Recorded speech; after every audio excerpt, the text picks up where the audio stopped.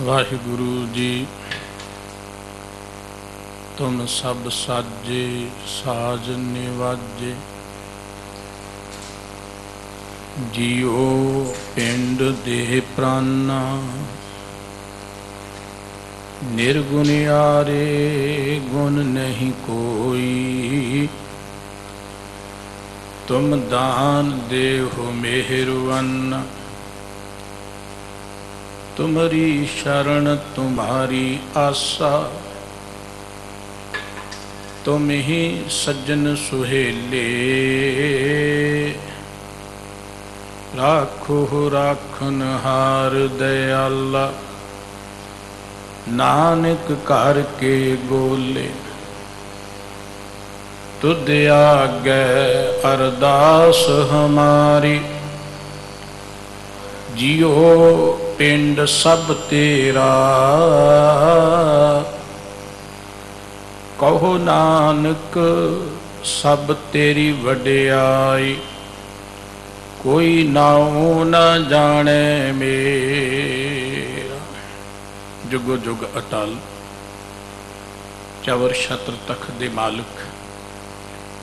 ਬਾਣੀ ਦੇ ਬੋਹਿਤ ਅਤੇ ਬ੍ਰਹਮ ਗਿਆਨ ਦੇ ਸਾਗਰ ਸਤਿਗੁਰੂ।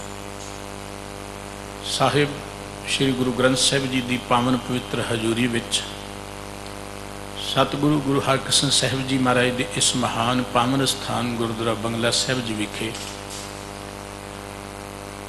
ਸੁਭਾਈਮਾਨ ਗੁਰੂ ਪਿਆਰੀ ਸਾਧ ਸੰਗਤ ਜੀ, ਵਾਹਿਗੁਰੂ ਜੀ ਕਾ ਖਾਲਸਾ, ਵਾਹਿਗੁਰੂ ਜੀ ਕੀ ਫਤਿਹ। ਵਾਹਿਗੁਰੂ ਜੀ ਦੀ ਕਿਰਪਾ ਸਦਕਾ ਗੁਰੂ ਹਜ਼ੂਰੀ ਵਿੱਚ ਬੈਠ ਕੇ ਗੁਰਬਾਣੀ ਕੀਰਤਨ ਦਾ ਆਨੰਦ ਆਪ ਜੀ ਨੇ ਮਾਣਿਆ।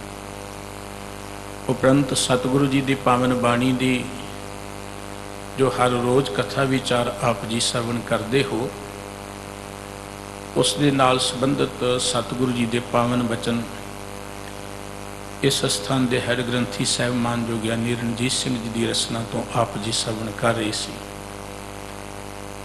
ਅੱਜ ਦੇ ਇਹ ਪਾਵਨ ਬਚਨ ਗੁਰੂ ਅਰਜਨ ਦੇਵ ਜੀ ਮਹਾਰਾਜ ਦੇ ਉਚਾਰਨ ਕੀਤੇ ਹੋਏ ਰਾਮਕਲੀ ਰਾਗ ਦੀ ਵਾਰ ਵਿੱਚੋਂ ਆਪ ਜੀ ਸਰਵਣ ਕਰ ਰਹੇ ਸੀ।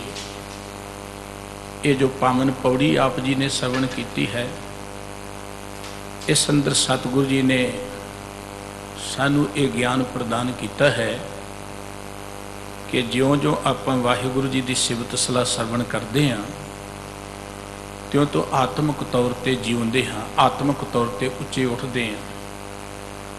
ਪਰਮਾਤਮਾ ਦੀ ਰਚਨਾ ਬੜੀ ਵਿਚਿੱਤਰ ਹੈ। ਮਨੁੱਖ ਦੀ ਸਰੀਰ ਦੀ ਜੋ ਬਣਤਰ ਪਰਮਾਤਮਾ ਨੇ ਬਣਾਈ ਹੈ, ਇਸ ਅੰਦਰ ਮਨ ਕਰਕੇ ਜੋ ਕਰਮ ਅਸੀਂ ਕਰਦੇ ਹਾਂ, ਉਹ ਸਾਡੇ ਅੰਦਰ ਅੰਕਿਤ ਹੁੰਦਾ ਚਲਿਆ ਜਾਂਦਾ ਹੈ। ਜਿਵੇਂ ਕਿਸੇ ਕਾਗਜ਼ ਦੇ ਉੱਪਰ ਕੁਝ ਲਿਖਿਆ ਚਲਿਆ ਜਾਂਦਾ ਹੈ, ਇਵੇਂ ਸਾਡੇ ਆਚਰਣ ਦੇ ਕਾਗਜ਼ ਦੇ ਉੱਪਰ ਮਨ ਦੇ ਰਾਹੀਂ ਕੀਤੇ ਹੋਏ ਕਰਮਾਂ ਦੇ ਲੇਖ ਲਿਖੇ ਜਾਂਦੇ ਨੇ। ਔਰ ਉਹੀ ਲੇਖ ਸਾਡੇ ਪੂਰਬਲੇ ਲੇਖ ਬਣਦੇ ਚਲੇ ਜਾਂਦੇ ਨੇ। ਜਿਹੋ ਜੇ ਲੇਖ ਅਸੀਂ ਲਿਖਦੇ ਆਂ ਉਹ ਜਿਹਾ ਸੁੱਖ ਦੁੱਖ ਸਾਨੂੰ ਜ਼ਿੰਦਗੀ ਅੰਦਰ ਮਿਲਦਾ ਜਦੋਂ ਕੋ ਮਨੁੱਖ ਪਰਮਾਤਮਾ ਦੀ ਸਿਫਤ ਸਲਾਹ ਕਰਦਾ ਹੈ, ਪਰਮਾਤਮਾ ਦੇ ਗੁਣਾਂ ਨੂੰ ਗ੍ਰਹਿਣ ਕਰਦਾ ਹੈ, ਉਹਦੇ ਅੰਦਰ ਉੱਚੇ ਗੁਣ ਪੈਦਾ ਹੁੰਦੇ ਨੇ, ਆਤਮਿਕ ਤੌਰ ਤੇ ਉੱਚਾ ਉੱਠਦਾ ਹੈ। ਪਰ ਜਦੋਂ ਕੋ ਪਰਮਾਤਮਾ ਨਾਲੋਂ ਟੁੱਟ ਕੇ ਕਰਮ ਕਰਦਾ ਹੈ, ਉਹ ਜ਼ਿੰਦਗੀ ਦੇ ਪੱਧਰ ਤੋਂ ਡਿੱਗਣਾ ਸ਼ੁਰੂ ਹੋ ਜਾਂਦਾ ਹੈ। ਮਨੁੱਖ ਆਤਮਿਕ ਤੌਰ ਤੇ ਉੱਚਾ ਉੱਠੇਗਾ ਤੇ ਪਰਮਾਤਮਾ ਬਣ ਜਾਏਗਾ। ਪਰਮਾਤਮਾ ਵਿੱਚ ਲਿਵਲੀਨ ਹੋ ਜਾਏਗਾ। ਪਰ ਜਦੋਂ ਇਹ ਪਰਮਾਤਮਾ ਨਾਲੋਂ ਟੁੱਟ ਕੇ ਔਗੁਣਾਂ ਨਾਲ ਜੁੜ ਗਿਆ, ਫਿਰ ਇਹ ਪਸ਼ੂ ਬਣ ਜਾਏਗਾ। ਗੁਰਬਾਣੀ ਵਿੱਚ ਸਤਿਗੁਰੂ ਜੀ ਨੇ ਇੱਕ ਬੜਾ ਪਿਆਰਾ ਬਚਨ ਲਿਖਿਆ, ਕਰਨੀ ਕਾਗਦ ਮਨ ਮਸਵਾਣੀ, ਬੁਰਾ ਭਲਾ ਦੋਏ ਲੇਖ ਪਏ। ਜਿਉਂ ਜਿਉਂ ਕਿਰਤ ਚਲਾਏ ਤੋ ਚੱਲੀਏ ਤੋ ਗੁਣ ਨਾਹੀ ਅੰਤਰੇ ਚਿਤ ਚੇਤਸ ਕੀਨੀ ਬਾਬਰਿਆ ਹਰ ਬਿਸਰ ਤੇਰੇ ਗੁਣ ਗਲੇ ਗੁਰਦੇਵ ਕਹਿੰਦੇ, ਉਹ ਬੌਰੇ ਬੰਦੇ ਵਾਹਿਗੁਰੂ ਜੀ ਦੇ ਗੁਣਾਂ ਨੂੰ ਕਿਉਂ ਨਹੀਂ ਯਾਦ ਕਰਦਾ? ਤੂੰ ਪਰਮਾਤਮਾ ਨੂੰ ਜਦੋਂ ਭੁਲਾ ਦੇਵੇਂਗਾ ਨਾ, ਤੇਰੇ ਅੰਦਰੋਂ ਸਾਰੇ ਗੁਣ ਖਤਮ ਹੋ ਜਾਣਗੇ। ਤੇਰੇ ਅੰਦਰ ਬੁਰਾਈਆਂ ਆ ਜਾਣਗੀਆਂ। ਮਨੁੱਖ ਜ਼ਿੰਦਗੀ ਅੰਦਰ ਪਰਮਾਤਮਾ ਨਾਲੋਂ ਟੁੱਟ ਕੇ ਪਸ਼ੂ ਬਣ ਜਾਂਦਾ ਹੈ, ਪ੍ਰੇਤ ਬਣ ਜਾਂਦਾ ਹੈ। ਦੇਖੋ, ਹੋਰ ਜੁਨਾ ਵੀ ਹੋਣਗੀਆਂ, ਪਰ ਮਨੁੱਖਾ ਜ਼ਿੰਦਗੀ 'ਚ ਹੀ ਪ੍ਰੇਤ ਬੜੇ ਤੁਰੇ ਫਿਰਦੇ ਨੇ। ਮਨੁੱਖਾ ਜ਼ਿੰਦਗੀ 'ਚ ਹੀ ਪਸ਼ੂ ਬੜੇ ਤੁਰੇ ਫਿਰਦੇ ਨੇ। ਗੁਰਬਾਣੀ ਕਹਿੰਦੀ, ਹਰ ਬਿਸਰ ਤੇ ਪ੍ਰੇਤਤ ਹੈ ਜਿਹੜੇ ਵਾਹਿਗੁਰੂ ਜੀ ਨੂੰ ਭੁੱਲ ਜਾਂਦੇ ਉਹ ਤੇ ਪ੍ਰੇਤ ਬਣ ਚੁੱਕੇ ਨੇ। ਮਨੁੱਖ ਆਪਣੀ ਇਸ ਜ਼ਿੰਦਗੀ ਅੰਦਰ ਪਤਾ ਨਹੀਂ ਕਿੰਨੀਆਂ ਕੁ ਜੂਨਾਂ ਭੋਗਦਾ ਹੈ। ਕਦੀ ਉਹ ਲੋਭੀ ਬਣ ਕੇ ਕੁੱਤੇ ਦੀ ਜੂਨ ਵਿੱਚ ਤੁਰਿਆ ਫਿਰਦਾ ਹੈ। ਜਿਹੋ ਜੇ ਔਗਣ ਉਹਦੇ ਚ ਆਈ ਜਾਂਦੇ ਨੇ, ਉਹੋ ਜੀ ਜੂਨ ਵਿੱਚ ਉਹ ਭਟਕਦਾ ਰਹਿੰਦਾ ਹੈ। ਸਤਿਗੁਰੂ ਜੀ ਕਹਿੰਦੇ ਬੰਦਿਆ ਪ੍ਰਮਾਤਮਾ ਦੀ ਕੀਰਤੀ ਕਰ, ਪ੍ਰਮਾਤਮਾ ਦੇ ਗੁਣ ਗਾ, ਪ੍ਰਮਾਤਮਾ ਦੇ ਨਾਮ ਨਾਲ ਜੁੜ। ਪ੍ਰਮਾਤਮਾ ਦੇ ਨਾਮ ਦਾ ਅਰਥ ਹੈ ਪ੍ਰਮਾਤਮਾ ਦੀ ਸਿਫਤ ਸਲਾਹ ਕਰਨੀ, ਪ੍ਰਮਾਤਮਾ ਦੇ ਗੁਣ ਗਾਉਣੇ। ਮਨੁੱਖ ਦੇ ਮਨ ਦਾ ਇੱਕ ਸੁਭਾਅ ਬਣਾਇਆ ਪ੍ਰਮਾਤਮਾ ਨੇ ਕਿ ਜਿਹੋ ਜੇ ਇਹ ਗੁਣਾਂ ਨੂੰ ਯਾਦ ਕਰੇਗਾ ਜਾਂ ਜਿਸ ਹਸਤੀ ਨਾਲ ਇਹ ਜੁੜੇਗਾ, ਉਹ ਜਿਹਾ ਬਣ ਜਾਏਗਾ। ਵਾਹਿਗੁਰੂ ਜੀ ਨੇ ਮਨੁੱਖ ਨੂੰ ਜੇ ਲੋਹਾ ਬਣਾਇਆ ਹੈ, ਤੇ ਇਹਨੇ ਤੇ ਜ਼ਿੰਦਗੀ ਅੰਦਰ ਸੋਨੇ ਬਣਨਾ ਸੀ। ਲੇਕਿਨ ਇਹ ਲੋਹਾ ਜਿਹੜਾ ਅੱਗ ਵਿੱਚ ਸੜ ਕੇ ਦਰਅਸਲ ਮਨੂਰ ਬਣ ਗਿਆ। ਇਹ ਜ਼ਿੰਦਗੀ ਦੇ ਪੱਧਰ ਤੋਂ ਨੀਵਾ ਹੋ ਗਿਆ। ਪਰਮਾਤਮਾ ਨੇ ਮਨੁੱਖਾ ਜ਼ਿੰਦਗੀ ਦਿੱਤੀ ਹੈ ਕਿ ਆਪਾਂ ਪਰਮਾਤਮਾ ਬਣ ਸਕੀਏ। ਸਤਿਗੁਰੂ ਜੀ ਦਾ ਇੱਕ ਅੰਮ੍ਰਿਤ ਬਚਨ ਹੈ, ਮਾਨੂ ਕੱਲੇ, ਉੱਠੀ ਚੱਲੇ, ਸਾਧ ਨਹੀਂ ਅਵੇਹੀ ਗੱਲੇ। ਪਰਮਾਤਮਾ ਨੇ ਮਨੁੱਖ ਨੂੰ ਭੇਜਿਆ ਹੈ, ਮਨੁੱਖ ਇਸ ਜ਼ਿੰਦਗੀ ਅੰਦਰ ਘਾਟਾ ਖਾ ਕੇ ਚਲਿਆ ਜਾਏ, ਖਾਲੀ ਹੱਥ ਚਲਿਆ ਜਾਏ, ਜ਼ਿੰਦਗੀ ਦਾ ਕੋਈ ਸਵਾਦ ਨਹੀਂ ਹੈ। ਸਤਿਗੁਰੂ ਜੀ ਨੇ ਉਸੇ ਹੀ ਸ਼ਬਦ ਅੰਦਰ ਜਿੱਥੇ ਇਹ ਗੱਲ ਕਹੀ ਹੈ ਕਿ ਕਰਨੀ ਕਾਗਦ ਮਨ ਮਸੁਰਾਣੀ ਉੱਥੇ ਚੱਲ ਕੇ ਇੱਕ ਹੋਰ ਖਿਆਲ ਦਿੱਤਾ ਕਿ ਕਾਇਆ ਆਰਣ ਮਨ ਵਿੱਚ ਲੋਹਾ ਪੰਚ ਅਗਨ ਤਿਤ ਲਾਗ ਰਹੀ। ਕੋਇਲੇ ਪਾਵ ਪੜੇ ਤੇ ਸੂਪਰ ਮਨ ਜੜਿਆ ਸੰਨੀ ਚਿੰਤ ਪਈ ਭਇਆ ਮਨੂਰ। ਗੁਰਦੇਵ ਕਹਿੰਦੇ, ਸਾਡੇ ਸਰੀਰ ਦੀ ਇਸ ਭੱਠੀ ਦੇ ਅੰਦਰ ਪੰਜ ਤਰ੍ਹਾਂ ਦੀਆਂ ਅੱਗਾਂ ਬਲ ਰਹੀਆਂ ਤੇ ਮਨ ਜਿਹੜਾ ਉਹਦੇ ਵਿੱਚ ਲੋਹੇ ਵਾਂਗੂ ਸੜੀ ਜਾ ਰਿਹਾ ਸੜਤਾ ਰਿਹਾ ਹੀ, ਆਪਾਂ ਚਿੰਤਾ ਦੀ ਸੰਨੀ ਦੇ ਨਾਲ ਹੋਰ ਸਾੜ ਰਹੇ ਹਾਂ, ਪਾਪਾਂ ਦੇ ਕੋਲੇ ਹੋਰ ਪਾ ਰਹੇ ਹਾਂ। ਇਹ ਲੋਹੇ ਵਰਗਾ ਮਨ ਸੜ ਸੜ ਕੇ ਮਨੂਰ ਹੋ ਗਿਆ, ਖਿੰਗਰ ਹੋ ਗਿਆ, ਨਿਕੰਮਾ ਹੋ ਗਿਆ। ਚਾਹੀਦਾ ਸੀ ਇਹ ਲੋਹੇ ਤੋਂ ਸੋਨਾ ਬਣਦਾ, ਪਰ ਇਹ ਲੋਹੇ ਤੋਂ ਮਨੂਰ ਬਣ ਗਿਆ। ਚਾਹੀਦਾ ਸੀ ਇਹ ਮਨੁੱਖ ਤੋਂ ਪਰਮਾਤਮਾ ਬਣਦਾ, ਇਹ ਮਨੁੱਖ ਤੋਂ ਪਸ਼ੂ ਬਣ ਗਿਆ। ਸਤਿਗੁਰੂ ਜੀ ਨੇ ਗੁਰਬਾਣੀ 'ਚ ਕਿਹਾ, ਪਰ ਕਰਤੂਤ ਪਸ਼ੂ ਕੀ ਮਾਨਸ ਜਾਤ? ਇਹ ਦੇਖਣ ਨੂੰ ਮਨੁੱਖ ਹੈ, ਪਰ ਅੰਦਰੋਂ ਇਹ ਪਸ਼ੂ ਹੈ। ਆਪਾਂ ਜਦੋਂ ਮਨੁੱਖੀ ਸਮਾਜ ਅੰਦਰ ਨਜ਼ਰ ਮਾਰਦੇ ਆਂ, ਹੋ ਸਕਦਾ ਕਿ ਉਹਨੇ ਔਗਣ ਪਸ਼ੂਆਂ 'ਚ ਵੀ ਨਾ ਹੋਣ ਜਿਹੜੇ ਮਨੁੱਖ 'ਚ ਆ ਗਏ ਨੇ। ਮਨੁੱਖ ਤੇ ਪਸ਼ੂਆਂ ਦੇ ਪੱਧਰ ਤੋਂ ਨੀਵਾਂ ਡਿੱਗ ਗਿਆ ਪਸ਼ੂ ਨੂੰ ਪਤਾ ਹੈ ਕਿ ਕੀ ਖਾਣਾ ਹੈ, ਕੀ ਨਹੀਂ ਖਾਣਾ। ਜਿਹੜੀ ਚੀਜ਼ ਪਸ਼ੂ ਲਈ ਘਾਤਕ ਹੈ, ਸਰੀਰ ਨੂੰ ਦੁੱਖ ਦਿੰਦੀ ਪਸ਼ੂ ਕਦੀ ਨਹੀਂ ਖਾਂਦਾ। ਪਰ ਮਨੁੱਖ ਤਾਂ ਦੇਖ ਕੇ ਵੀ ਲਿਖਿਆ ਹੁੰਦਾ ਸਰੀਰ ਲਈ ਘਾਤਕ ਹੈ, ਫਿਰ ਖਾਈ ਚਲਿਆ ਜਾਂਦਾ। ਕਿਵੇਂ ਕਵਾਂਗੇ ਮਨੁੱਖ ਰਹਿ ਗਏ ਜੋ ਔਗਣ ਮਨੁੱਖ ਦੇ ਵਿੱਚ ਆ ਗਏ ਨੇ, ਹੋ ਸਕਦਾ ਉਹ ਪਸ਼ੂਆਂ ਵਿੱਚ ਵੀ ਨਾ ਹੋ ਇਹ ਮਨੁੱਖੀ ਸਮਾਜ ਵਿੱਚ ਹੀ ਤਵਾਈ ਦੇ ਸਾਧਨ ਬਣਾਏ ਹੋਏ ਨੇ। ਪਸ਼ੂਆਂ 'ਚ ਤੇ ਇਹੋ ਜਿਹੇ ਸਾਧਨ ਨਹੀਂ ਕੋਈ ਪਸ਼ੂ ਤਾਂ ਨਹੀਂ, ਦੂਜੇ ਪਸ਼ੂ ਨੂੰ ਬੰਦੂਕਾਂ ਨਾਲ ਮਾਰਦਾ ਜਾਂ ਉਹਨੂੰ ਖਤਮ ਕਰਨ ਦੇ ਲਈ ਸੋਚਦਾ। ਇਹ ਮਨੁੱਖ ਦੇ ਅੰਦਰ ਪਸ਼ੂ ਤੋਂ ਪੈੜੀ ਇੱਕ ਸੋਚ ਆ ਗਈ ਕਿ ਮਨੁੱਖ ਆਪਣੇ ਸਮਾਜ ਨੂੰ ਖਤਮ ਕਰਨ ਲਈ ਤੁਰ ਪਿਆ ਗੁਰਬਾਣੀ ਵਿੱਚ ਸਤਿਗੁਰੂ ਜੀ ਨੇ ਇੱਕ ਗੱਲ ਕੀ ਇਸ ਪਾਵਨ ਸ਼ਬਦ ਵਿੱਚ ਹੀ ਆਏਗਾ ਕਿ ਮਨੁੱਖ ਜਦੋਂ ਪ੍ਰਮਾਤਮਾ ਨਾਲੋਂ ਟੁੱਟ ਜਾਂਦਾ ਹੈ ਨਾ, ਉਹ ਬੜਾ ਡਰਾਉਣਾ ਬਣ ਜਾਂਦਾ ਹੈ, ਬੜਾ ਵਿਕਰਾਲ ਹੋ ਜਾਂਦਾ ਹੈ। ਬਾਬਾ ਫਰੀਦ ਸਾਹਿਬ ਜੀ ਨੇ ਕਿਹਾ ਸੀ, ਤਿੰਨਾ ਮੁਖ ਡਰਾਵਣੇ ਜਿਨੀ ਵਿਸਾਰਿਓ ਨਾਉ ਇੱਥੇ ਦੁੱਖ ਘਨੇਰਿਆਂ ਅੱਗੇ ਠੌਰ ਨਾ ਠਾਉ। ਜਿਨ੍ਹਾਂ ਨੇ ਪ੍ਰਮਾਤਮਾ ਨੂੰ ਭੁਲਾ ਦਿੱਤਾ, ਉਹ ਤੇ ਬੜੇ ਡਰਾਉਣੇ ਬਣ ਜਾਂਦੇ ਨੇ। ਇਦੋਂ ਵੱਡਾ ਡਰਾਉਣਾ ਮਨੁੱਖ ਕੀ ਹੋ ਸਕਦਾ ਹੈ ਕਿ ਮਨੁੱਖ ਆਪਣੇ ਸਮਾਜ ਨੂੰ ਖਤਮ ਕਰਨ ਲਈ ਤੁਲ ਪਿਆ? ਉਹ ਭਾਵੇਂ ਬਰੂਦ ਦੇ ਰਾਹੀਂ, ਭਾਵੇਂ ਨਸ਼ਿਆਂ ਦੇ ਰਾਹੀਂ, ਭਾਵੇਂ ਕਿਸੇ ਤਰੀਕੇ ਰਾਹੀਂ ਮਨੁੱਖ ਹੀ ਮਨੁੱਖੀ ਸਮਾਜ ਨੂੰ ਖਤਮ ਕਰ ਰਿਹਾ ਕੋਈ ਪਸ਼ੂ ਤਾਂ ਨਹੀਂ ਖਤਮ ਕਰ ਰਿਹਾ। ਇਹ ਮਨੁੱਖ ਦਾ ਡਰਾਉਣਾ ਸਰੂਪ ਹੈ ਕਿ ਜਦੋਂ ਮਨੁੱਖ ਮਨੁੱਖ ਨੂੰ ਹੀ ਖਾਣ ਤੇ ਤੁਲ ਜਾਏ, ਮਨੁੱਖ ਮਨੁੱਖ ਨੂੰ ਖਤਮ ਕਰਨ ਤੇ ਆ ਜਾਏ, ਸਤਿਗੁਰੂ ਜੀ ਨੇ ਅੱਜ ਦੇ ਮੁੱਖ ਵਾਕ ਦੇ ਰਾਹੀਂ ਜਿੱਥੇ ਪੌੜੀ ਅੰਦਰ ਇਹ ਖਿਆਲ ਦਿੱਤਾ ਹੈ ਕਿ ਵਾਹਿਗੁਰੂ ਜੀ ਦੇ ਗੁਣ ਗਾਉਂਦਿਆਂ ਗਾਉਂਦਿਆਂ ਮਨੁੱਖ ਆਤਮਿਕ ਤੌਰ ਤੇ ਉੱਚਾ ਉੱਠਦਾ ਹੈ। ਉਹਦੇ ਅੰਦਰ ਰੱਬੀ ਗੁਣ ਆਉਂਦੇ ਨੇ, ਉਹਨੂੰ ਸਾਰੇ ਸੁੱਖ ਸੋਰੇ ਆਨੰਦ ਮਿਲ ਜਾਂਦੇ ਨੇ। ਪਰਮਾਤਮਾ ਦੇ ਪਿਆਰ ਵਿੱਚ ਜੁੜਿਆ ਜੋ ਕੁਝ ਪਰਮਾਤਮਾ ਕੋਲ ਹੈ, ਮਨੁੱਖ ਕੋਲ ਆ ਜਾਂਦਾ ਹੈ। ਜਿਹੋ ਜਿਹਾ ਪਰਮਾਤਮਾ ਹੈ, ਮਨੁੱਖ ਉਹੋ ਜਿਹਾ ਬਣ ਜਾਂਦਾ ਹੈ। ਪਰ ਜਦੋਂ ਪ੍ਰਮਾਤਮਾ ਨਾਲੋਂ ਟੁੱਟਦਾ ਹੈ, ਮਨੁੱਖ ਵਿਕਰਾਲ ਬਣ ਜਾਂਦਾ ਹੈ, ਡਰਾਉਣਾ ਬਣ ਜਾਂਦਾ ਹੈ। ਸਤਿਗੁਰੂ ਜੀ ਨੇ ਦੋਵਾਂ ਸ਼ਲੋਕਾਂ ਅੰਦਰ ਵੀ ਇਸੇ ਪਾਵਨ ਪੌੜੀ ਨਾਲ ਮਿਲਦੇ ਭਾਵ ਦੀ ਗੱਲ ਕਰਕੇ ਜਿਵੇਂ ਸਾਨੂੰ ਵਾਹਿਗੁਰੂ ਜੀ ਦੇ ਪਿਆਰ ਵਿੱਚ ਜੁੜ ਕੇ ਆਤਮਿਕ ਜੀਵਨ ਮਾਨਣ ਦੀ ਪ੍ਰੇਰਣਾ ਕੀਤੀ ਹੈ, ਆਓ ਆਪਾਂ ਇਕਾਗਰਚਿਤ ਹੋ ਕੇ ਸਤਿਗੁਰੂ ਜੀ ਦੇ ਇਸ ਪਾਵਨ ਪਵਿੱਤਰ ਮੁਖ ਵਾਕ ਦੀ ਵਿਚਾਰ ਸਾਂਝੀ ਕਰੀਏ। ਗੁਰੂ ਪਿਆਰ 'ਚ ਜੁੜਦੇ ਆਂ ਮਨ ਬਿਰਤੀਆਂ ਨੂੰ ਟਿਕਾਉਣ ਦੇ ਲਈ ਇੱਕ ਵਾਰਾਂ ਸਾਰੇ ਹੀ ਮੁਖ ਤੋਂ ਉਚਾਰਨ ਕਰੀਏ ਜੀ। ਸਤਨਾਮ। ਸ੍ਰੀ ਵਾਹਿਗੁਰੂ ਸਾਹਿਬ ਜੀ। ਸ਼ਲੋਕ ਮਹਿਲਾ ਪੰਜਵਾਂ, ਅੰਮ੍ਰਿਤ ਬਾਣੀ ਅਮਿਓ ਰਸ, ਅੰਮ੍ਰਿਤ ਹਰ ਕਾ ਨਾਉ। ਸਤਿਗੁਰੂ ਗੁਰੂ ਅਰਜਨ ਦੇਵ ਜੀ ਮਹਾਰਾਜ ਦੇ ਇਹ ਪਾਵਨ ਬਚਨ, ਜੋ ਰਾਮਕਲੀ ਰਾਗ ਦੀ ਵਾਰ ਦੀ 12ਵੀਂ ਪੌੜੀ ਦੇ ਨਾਲ ਅੰਕਿਤ ਨੇ। ਤਿੰਨ ਵਾਰਾ ਰਾਮਕਲੀ ਰਾਗ ਵਿੱਚ ਨੇ। ਇੱਕ ਗੁਰੂ ਅਮਰਦਾਸ ਜੀ ਮਹਾਰਾਜ ਦੀ ਹੈ। ਇੱਕ ਧੰਨ ਗੁਰੂ ਅਰਜਨ ਦੇਵ ਜੀ ਮਹਾਰਾਜ ਦੀ ਹੈ ਅਤੇ ਇੱਕ ਭਾਈ ਸੱਤਾ ਤੇ ਬਲਵੰਡ ਜੀ ਦੀ ਉਚਾਰਨ ਕੀਤੀ ਹੋਈ ਵਾਰ ਹੈ। ਸਤਿਗੁਰੂ ਜੀ, ਇਸ ਮੁਖ ਵਾਕ ਰਾਹੀਂ ਸਾਨੂੰ ਉਪਦੇਸ਼ ਦੇ ਰਹੇ ਇਹ ਗੁਰਸਿੱਖੋ ਕਿ ਜਿਹੜੀ ਗੁਰੂ ਕੀ ਅੰਮ੍ਰਿਤ ਬਾਣੀ ਹੈ, ਅੰਮ੍ਰਿਤ ਦੇ ਨਾਲ ਭਰਪੂਰ ਹੈ ਅਮਰ ਜੀਵਨ ਦੇਣ ਵਾਲੀ ਹੈ, ਇਸ ਬਾਣੀ ਦੇ ਰਾਹੀਂ ਪ੍ਰਮਾਤਮਾ ਦੇ ਗੁਣ ਗਾਓ, ਪ੍ਰਮਾਤਮਾ ਦੀ ਕੀਰਤੀ ਕਰੋ। ਬਾਣੀ ਪੜਨ ਦਾ ਮੁੱਖ ਮਕਸਦ ਹੈ ਵਾਹਿਗੁਰੂ ਜੀ ਦੇ ਪਿਆਰ ਵਿੱਚ ਜੁੜਨਾ। ਮਾਫ ਕਰਨਾ, ਬਾਣੀ ਨੂੰ ਗਿਣਤੀਆਂ ਨਾਲ ਨਹੀਂ ਪੜਨਾ ਆਪਾਂ ਪ੍ਰਮਾਤਮਾ ਦੀ ਸਿਫਤ ਸਲਾਹ ਦੀ ਕੀ ਗਿਣਤੀ ਕਰ ਸਕਦੇ ਹਾਂ? ਪਰਮਾਤਮਾ ਨੇ ਜੋ ਸਾਨੂੰ ਦਾਤਾਂ ਦਿੱਤੀਆਂ, ਉਹਦੀ ਕੋਈ ਗਿਣਤੀ ਨਹੀਂ ਹੈ। ਪਰਮਾਤਮਾ ਕਦੀ ਸਾਡੇ ਤੇ ਰਹਿਮਤ ਕਰਨ ਲੱਗਦਾ, ਕੋਈ ਗਿਣਤੀ ਨਹੀਂ ਕਰਦਾ। ਪਰ ਮਨੁੱਖ ਕਿਹੋ ਜਿਹੇ ਸੁਭਾਅ ਦਾ ਬਣ ਗਿਆ ਕਿ ਇਹਨੇ ਤੇ ਰੱਬ ਦੇ ਨਾਂ ਤੇ ਵੀ ਗਿਣਤੀਆਂ ਕਰਨੀਆਂ ਸ਼ੁਰੂ ਕਰ ਦਿੱਤੀਆਂ ਕਿ ਮੈਂ ਇੰਨੇ ਪਾਠ ਕਰਦਾ ਹਾਂ, ਇੰਨੀਆਂ ਬਾਣੀਆਂ ਪੜਦਾ ਹਾਂ। ਬਾਣੀ ਪੜਨ ਦਾ ਅਰਥ ਹੈ ਪਰਮਾਤਮਾ ਦੇ ਪਿਆਰ ਵਿੱਚ ਜੁੜਨਾ, ਪਰਮਾਤਮਾ ਦੀ ਸਿਫਤ ਸਲਾਹ ਕਰਨੀ। ਗੁਰਬਾਣੀ ਸਾਨੂੰ ਜੋੜਦੇ ਹੀ ਪ੍ਰਮਾਤਮਾ ਦੇ ਪਿਆਰ ਵਿੱਚ ਹੈ। ਇਸ ਕਰਕੇ ਸਾਹਿਬ ਜੀ ਕਹਿੰਦੇ ਕਿ ਜਿਹੜੀ ਗੁਰੂ ਕੀ ਅੰਮ੍ਰਿਤ ਬਾਣੀ ਹੈ, ਇਸ ਬਾਣੀ ਦੇ ਰਾਹੀਂ ਅਠੇ ਪੈਰ ਵਾਹਿਗੁਰੂ ਜੀ ਦੇ ਗੁਣ ਗਾਓ। ਅੰਮ੍ਰਿਤ ਬਾਣੀ ਅਮਿਓ ਰਸ, ਅੰਮ੍ਰਿਤ ਹਰ ਕਾ ਨਾਮ ਵਾਹਿਗੁਰੂ ਜੀ ਦਾ ਨਾਮ ਅੰਮ੍ਰਿਤ ਹੈ।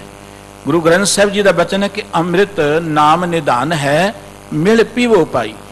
ਵਾਹਿਗੁਰੂ ਜੀ ਦਾ ਨਾਮ ਹੀ ਸਾਨੂੰ ਅਮਰ ਜੀਵਨ ਦੇ ਸਕਦਾ ਹੈ। ਉਹ ਜੀਵਨ ਜਿਹੜਾ ਮੌਤ ਤੋਂ ਰਹਿਦਾ।